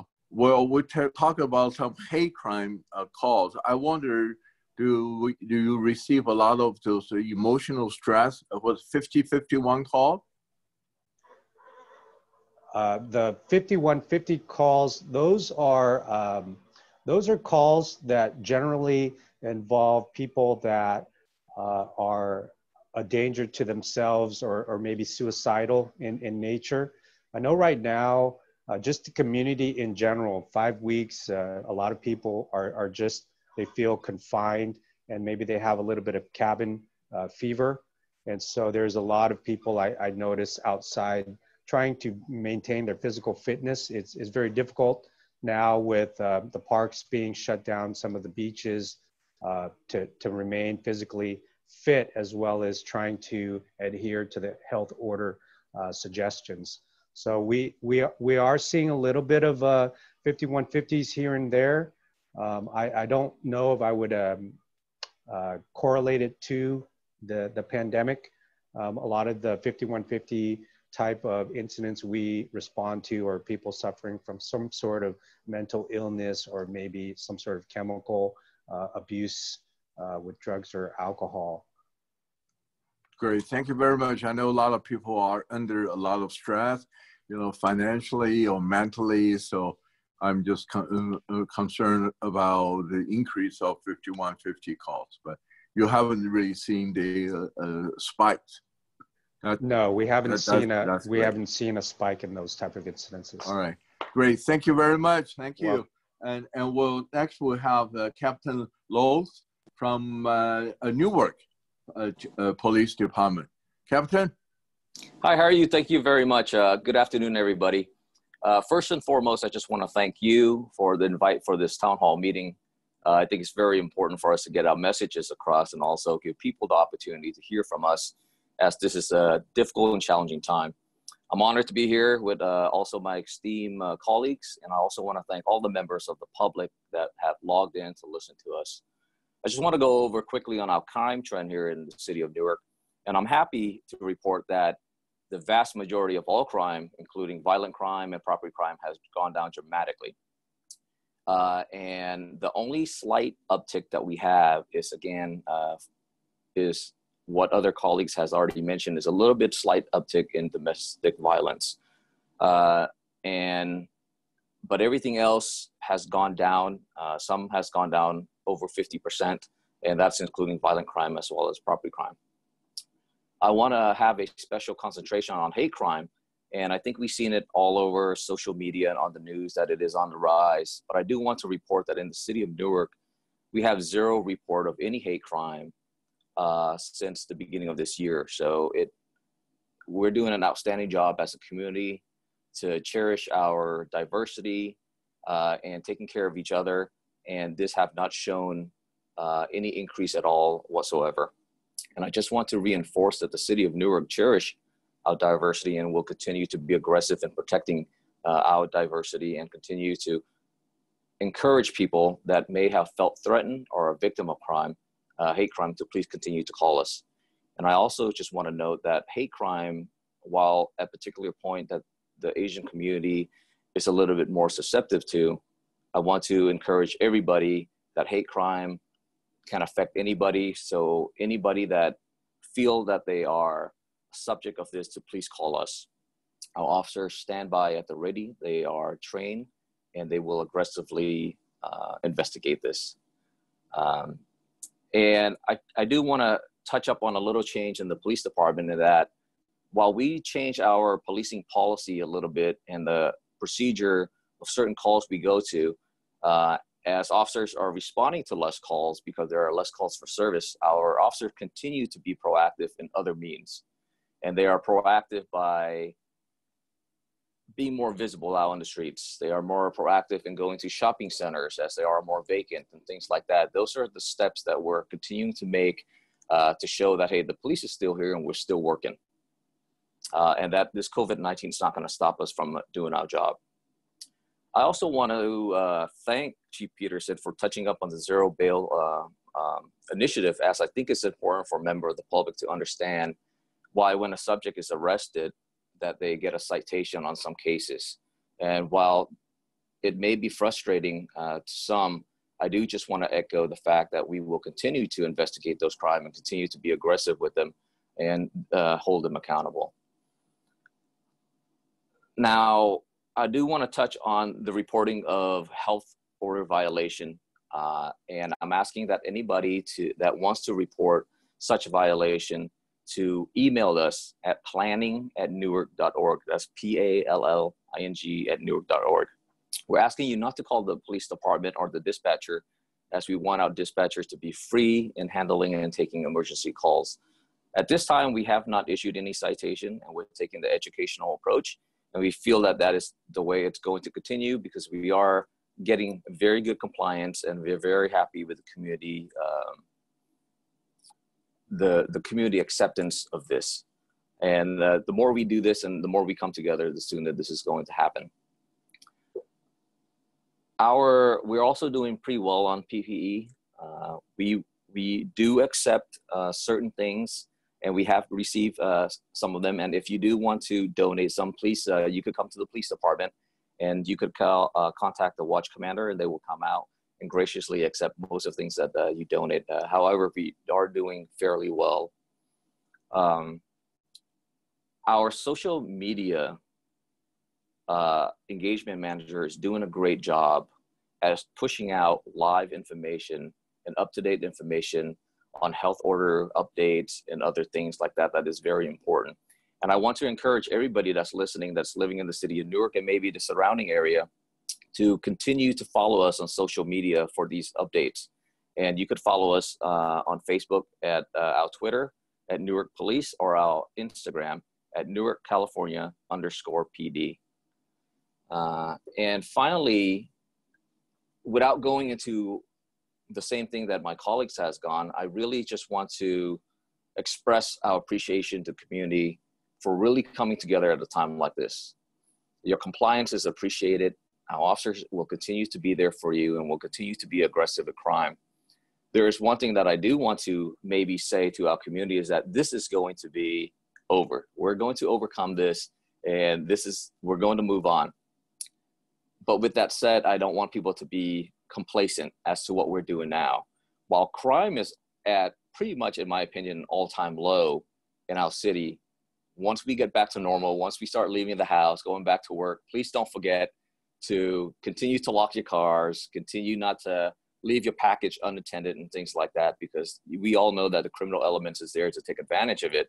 So take this time to really hone in on your crime prevention skills that you have right now, being at home, watching out for your neighbors, watching out for each other. And uh, we just want to offer that we empathize with what everybody's going through. It is tough, it is difficult, but we're going to get through this together. And the Newark Police Department is here for you. So if you need anything, please call us directly at 510 578 4237. Thank you so much. Thank you, Captain Loth. Thank you for the positive uh, note as well. And I definitely want to thank you for your service and please convey my uh, uh, heartfelt appreciation to all the rank and files of the police, uh, frontline uh, public safety officers in, in your work. Thank and you next we'll have uh, Captain from uh, city of Milpitas, Captain Hernandez. Is Captain there? Is There, there we go. I was having some issues there. Oh, hi, how are you? I'm good. I'm glad you can hear me. Um, first of all, I want to thank you, Assemblymember Chu and Councilmember Carrasco, for providing this platform for us to continue to connect with the public. We think it's very important for people to hear our messages, and uh, this is an excellent way uh, to do that. A couple of the things that I plan on talking about is some of the crime trends that we've seen during COVID-19. I'll provide some safety tips, talk about some local public safety initiatives that we've implemented, and then also how we responded to the public health orders. Um, you know, COVID 19, it literally changed the habits of the general public overnight. And as a result, we immediately saw a drop in criminal activity. And that was really evident in our auto burglary and residential burglary statistics. Um, in fact, during the shelter in place order, we saw a 15% decrease in calls for service and an overall 21% decrease in part one crimes, which is really good. Um, however, just like the general public had to adapt to the new norm, so did the criminals. Um, where we used to see our auto burglary trends occurring daytime in shopping centers, it shifted to nighttime in residentials. Um, and then we also saw an increase in um, businesses being targeted for uh, burglaries because they're unoccupied, and then also an increase in auto theft. Now, it's a little bit misleading when I talk about the next couple of statistics because I'm not talking about a year to date comparison. If you look at a year to date comparison, we're low in all categories. So the period of time that I'm talking about is going to be the month prior to the shelter in place order and the month during the shelter in place order. Um, for domestic violence, we did see an increase uh, during the shelter in place order of a 30% increase in do- domestic violence arrests during the shelter in place. Um, you know, I- that's probably like others have mentioned, uh, goes in line with some of the stresses of job security, the economic decline, and some of the other general stressors that come along with the COVID uh, pandemic. Um, one of the other things, in addition to uh, domestic violence, that we were really concerned about um, and has been mentioned before is um, child safety and child abuse investigations, whether it be physical abuse or sexual abuse or emotional abuse, because the majority of our reported crimes in that area was a result of teachers being observant and seeing bruises or noticing a behavior that was different in a child or even a disclosure made from the child to the teacher. And with schools not functioning, that outlet for, for those potential victims to um, connect with, with services to help them really isn't there. So one of the things that we continue to do is uh, work with the Milpitas Unified School District. In fact, our Chief of Police, Armando Corpuz, he's in regular contact uh, through phone meetings with the superintendent's office. And the district has an assigned social worker that stays attentive to um, homes where it's likely an at-risk home or where there's been other incidences uh, in the past. So that's one thing that we, we can continue to do to try to keep uh, children safe. With respect to hate crimes in the API community, um, you know, Milpitas is unique. We have somewhere between a 62 to 65% um, population of, of Asian.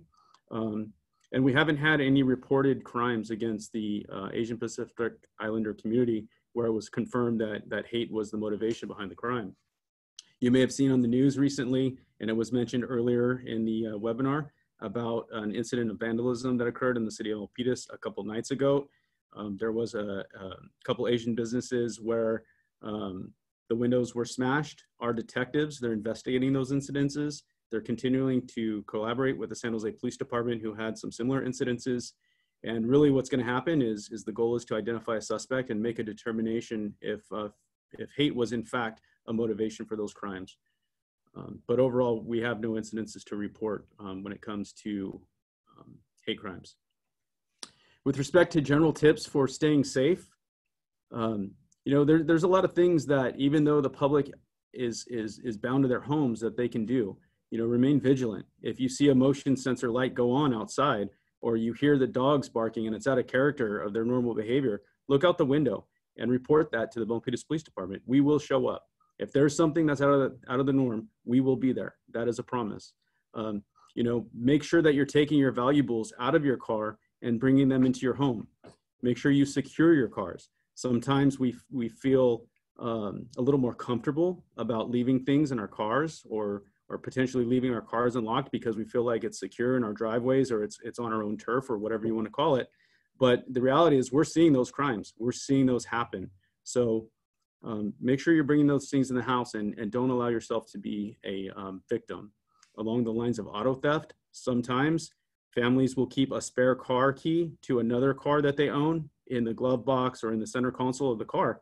And what happens is the criminals may come across that while they're trying to, to do a vehicle burglary and find the key to the car that's next to it in the driveway and then steal the car.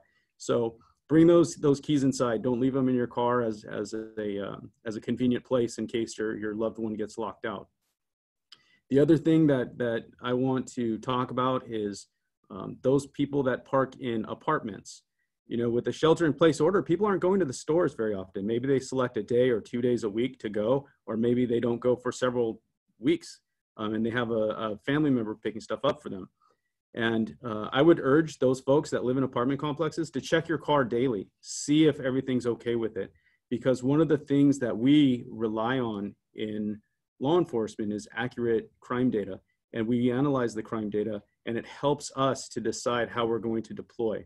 So if you check your car and you can tell us, hey, this happened last night, that's, that's useful information versus it happened sometime over the last two or three weeks. So remain vigilant, keep an eye on your stuff, and uh, let us know if something's not right. Um, lastly, uh, one of the places, the few places that people are still going are grocery stores.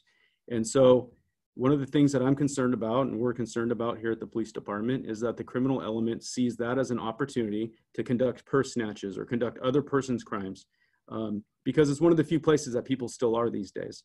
And you know, prior to COVID 19, if you saw a person wearing a mask, you're going to call the police. Today, you call the police if the person's not wearing a mask. And so the criminal element could really hide amongst the other people wearing masks and, and not look different. Um, so we urge the public to remain vigilant, stay observant, um, and pay attention to those things. With respect to public safety initiatives, um, here at the police department, we've implemented a number of operational changes uh, one of those most evident for those that are wishing to do business with the Milpitas Police Department is that our lobby's closed. If you want to do business with us, there's an online appointment system. So if you want to pick up property or you want um, to get a copy of a report, just go to our website, make an appointment, and, um, and we'll get you taken care of. Um, as a police department, we're continuing to engage with the community through our social media platforms. In fact, Captain Maharaj, who oversees our social media unit, um, he's working on developing messaging for community resources related to domestic violence, hate crimes, different food resources, um, basically the needs that, that people uh, have in, in these um, unprecedented times. Um, let's see here. Other initiatives, uh, these are more citywide initiatives, but citywide, um, the city of Milpitas has implemented food programs, economic development and small business assistance, and also have stepped up digital engagement through our Parks and Recreation Department. And I know that this is about public safety, but I think, and we believe in the city that these are all related to public safety because these initiatives, they promote a better overall health for the city and that has a direct impact on public safety and crime. So we believe it's all important for all different departments in the city. Um, the stay-at-home order uh, for us, um, it's really been simple. Um, we concentrated on um, educational approach and making sure that people were aware of the order. Our community was very responsive. Uh, we didn't issue a single citation. Um, just in a matter of a few words, we were able to, um, to get people on the same page with us and that just is a testament to, to the folks in our community here in the city of Milpitas. Um, along the lines you may have heard, along the lines of the public health order effective today in the city of Milpitas, we're requiring face coverings in essential businesses for the workers and the customers. We're the first in the Santa Clara County to do that. Um, time will tell how, that, how that's received. I believe it will be well received. I don't anticipate that we're gonna have much enforcement related to it. I think that the community is going to take a similar approach and, and be respective of those rules. Um, and so we'll be doing a lot of education on that as a police department. Um, the last thing that I really think is important for people to understand is that, you know, the Milpitas Police Department, even though COVID-19 is happening, even though uh, people, you're, you're stuck in your homes for the most part, the Milpitas Police Department will continue to be a full service police department. We will continue to maintain our response times of well under three minutes to emergencies. And our officers are going to remain proactive. They're getting out of their cars, they're on foot, they're checking your businesses if you're a business owner to uh, try to make sure you're not victimized.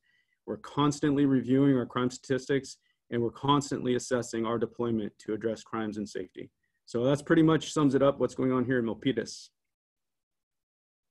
So much, uh, Captain Hernandez. Thank you for your report and some public safety uh, safety tips.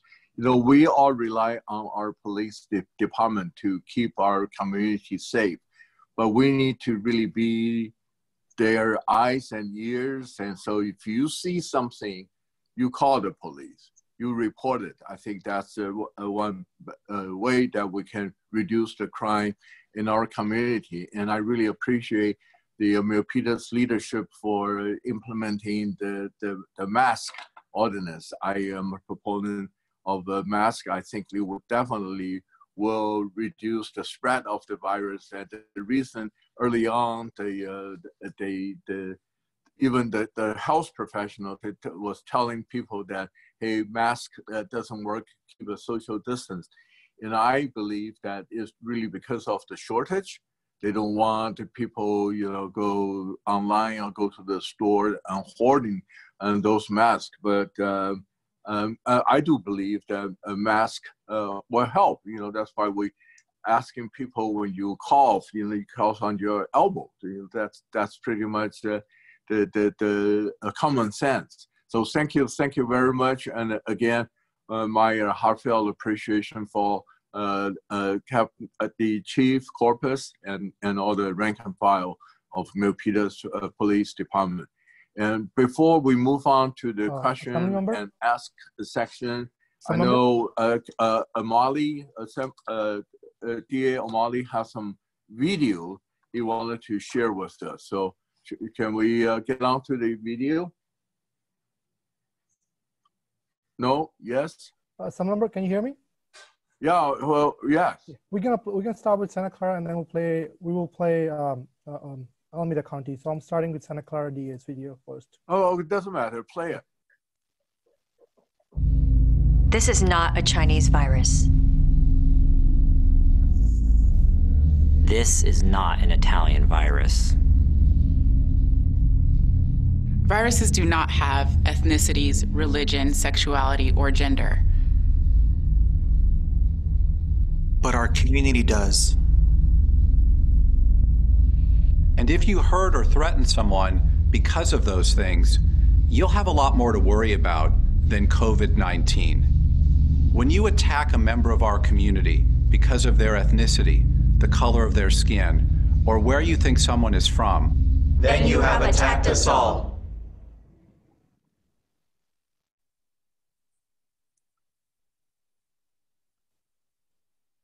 Okay, we're moving on to the second one. Yes. Hi, my name is Nancy O'Malley, and I'm the District Attorney of Alameda County. During this period of unprecedented crisis, standing together and supporting each other as a community has never been more important. The sudden increase in hate fueled speech and criminal acts targeted against members of the Asian community, particularly against the Chinese Americans who live and work in Alameda County, is entirely intolerable. The District Attorney's Office maintains a hate crime hotline, and it's available for the reporting of hate related crimes. That number is 510 208 4824. It has messaging in English, Spanish, Farsi, Mandarin, Cantonese, and Tagalog. I have directed my office to be on heightened alert during this time of crisis. We will be vigilant and swift in our response to reports of hate crimes, and we will protect all members of our community against hate driven violence.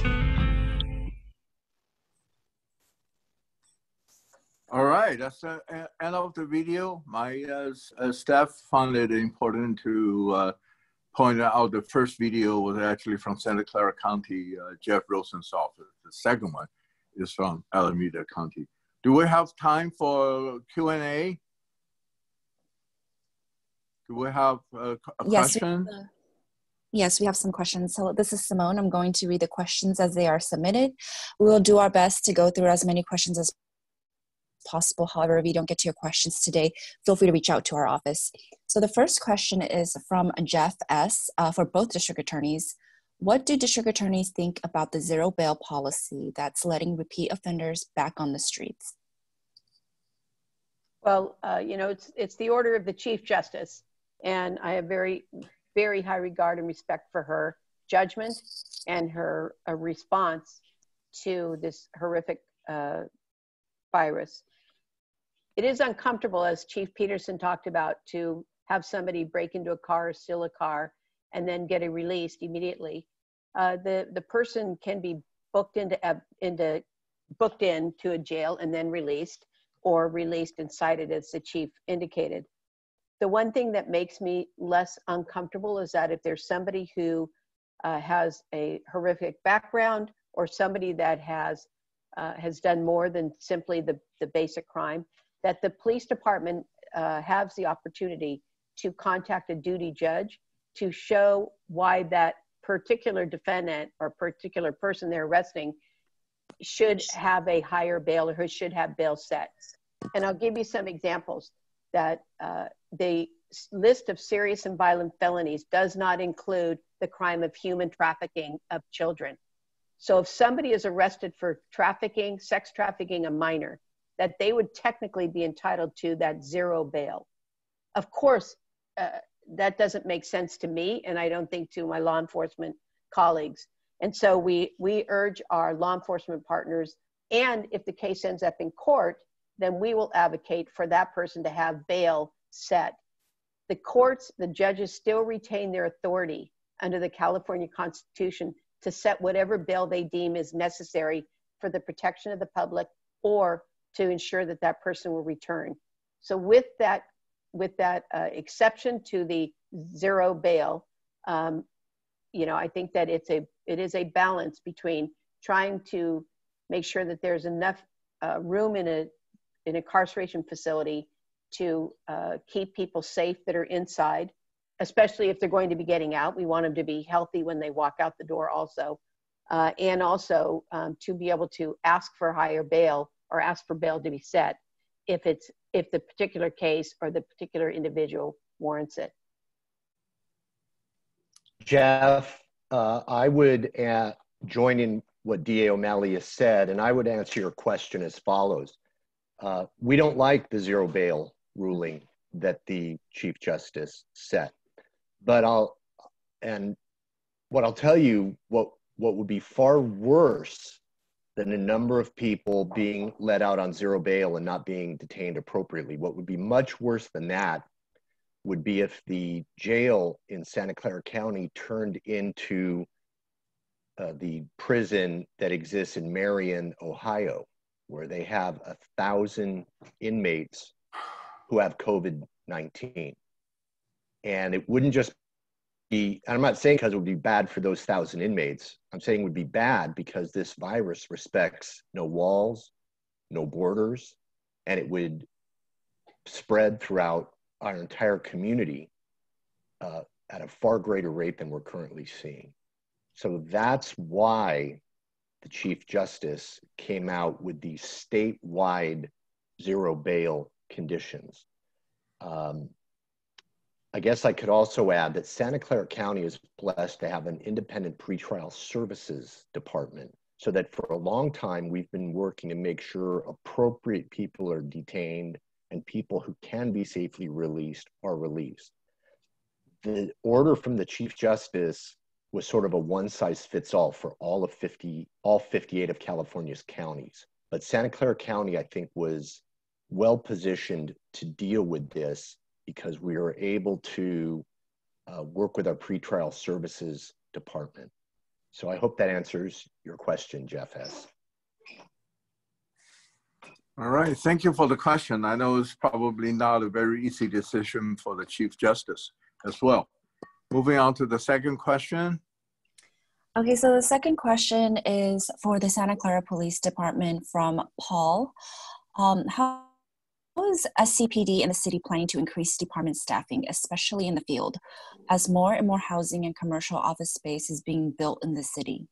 The new developments throughout the city are certainly going to raise the city's daytime and nighttime population. And with those increases, we're starting to see increased calls for service from the PD.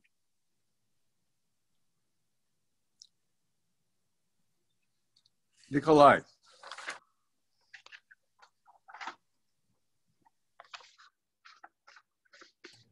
Pat on the line?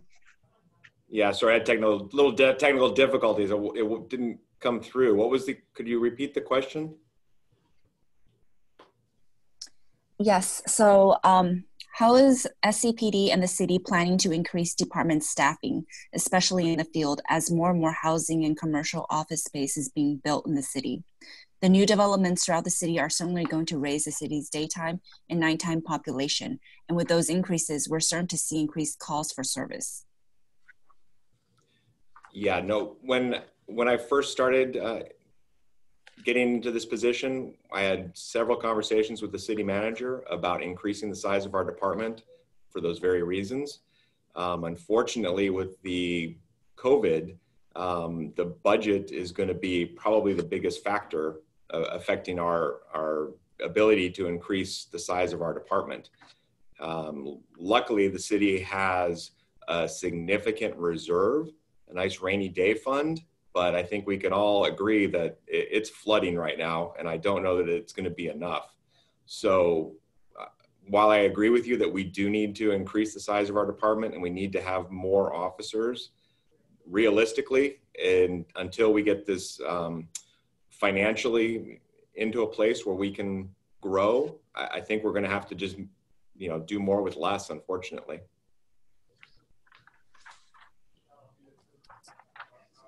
Okay, thank you.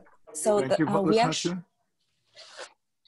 so that was that's this is all the time we have for questions today. Oh. If we didn't get to your questions, um, the ones that you have sent in, staff will follow up on those. Great. Thank, thank you very much. And, uh, and I just wanted to close that our office has put out some resources for uh, COVID-19 resources. And I uh, encourage you to get online to check on it you know, regarding to unemployment and uh, uh, uh, state, county, uh, regard the resources. Um, just quickly wanted to also mention that I think next Tuesday, the gig workers and a self-employee, you know, 1099 employee can also uh, get uh, unemployment uh, uh, payment. So encourage you to uh, apply after the next Tuesday. I know there's a long, frustrating wait, but we'll, we'll get to you and definitely will uh, pay you retroactively. So with that, I, uh, Councilmember Carrasco, you have any final closing comments? Oh, yes. Uh, well, you know, I um, I just want to thank you again, council member, and I want to thank everybody who who's left here on the panel. And I know that some folks have already uh, had to jump off. Uh, you know, this uh, this is a, a new way of doing business, but it's I I find it actually to be refreshing because it gives us an opportunity to be able to connect from all corners of of uh, the county, and uh, and be able to to really exchange information and and cross pollinate in terms of the kinds of ideas and the kind uh, and the kind of work that everybody is doing. I, I really want to extend a, a heartfelt gratitude to everybody that's doing the kind of work that you're doing to keep our community safe, especially those who are in such vulnerable positions. And of course, that's that's what you do. You keep us all safe. But you know, we we have women and children who very often don't have voices to express uh, their their anxieties, their stress, their the, the risk that they're under you are proactively going out there and making sure that they're safe, uh, quite often uh, uh, saving their lives. And I am uh, deeply indebted to you as, uh, as the person who represents uh, a district that is quite often and historically marginalized. I'm very grateful to you. Captain Ta, uh, I, I'm always grateful to all of the work that you do and uh, you're always very uh, accessible to myself and to my team. And so, you know, we have such a great relationship and I, I, you know, to be able to have that kind of communication with your elected officials and to quickly be able to pick up the phone. I can call up uh, Captain Ta at all hours of the day and night, and he's uh, he's so accessible to all of us. And I know that all of you are are probably doing the same thing with uh, with your representatives. So I thank you so much for the time that you've given us and for really your commitment and your passion to serve the community in the way that you do such a in such a dignified manner especially in a time where people are really really very uh, scared about what this pandemic really means uh, to our community. So thank you so much for everything that you're doing. Thank you, Assembly Member, for bringing us all together in this venue. And thank you for bringing uh, to our attention such important issues. Great. Thank you very much. I, again, thank you all for joining us. A, a quick message from CHP, drive slowly uh, on our freeway. And uh, again, a reminder that is that you really, if you see something, say something. I think that's the one way that us and the community member be able to help with the public safety officers. So be safe, be healthy, and be happy. We'll see you in the next uh, virtual town hall.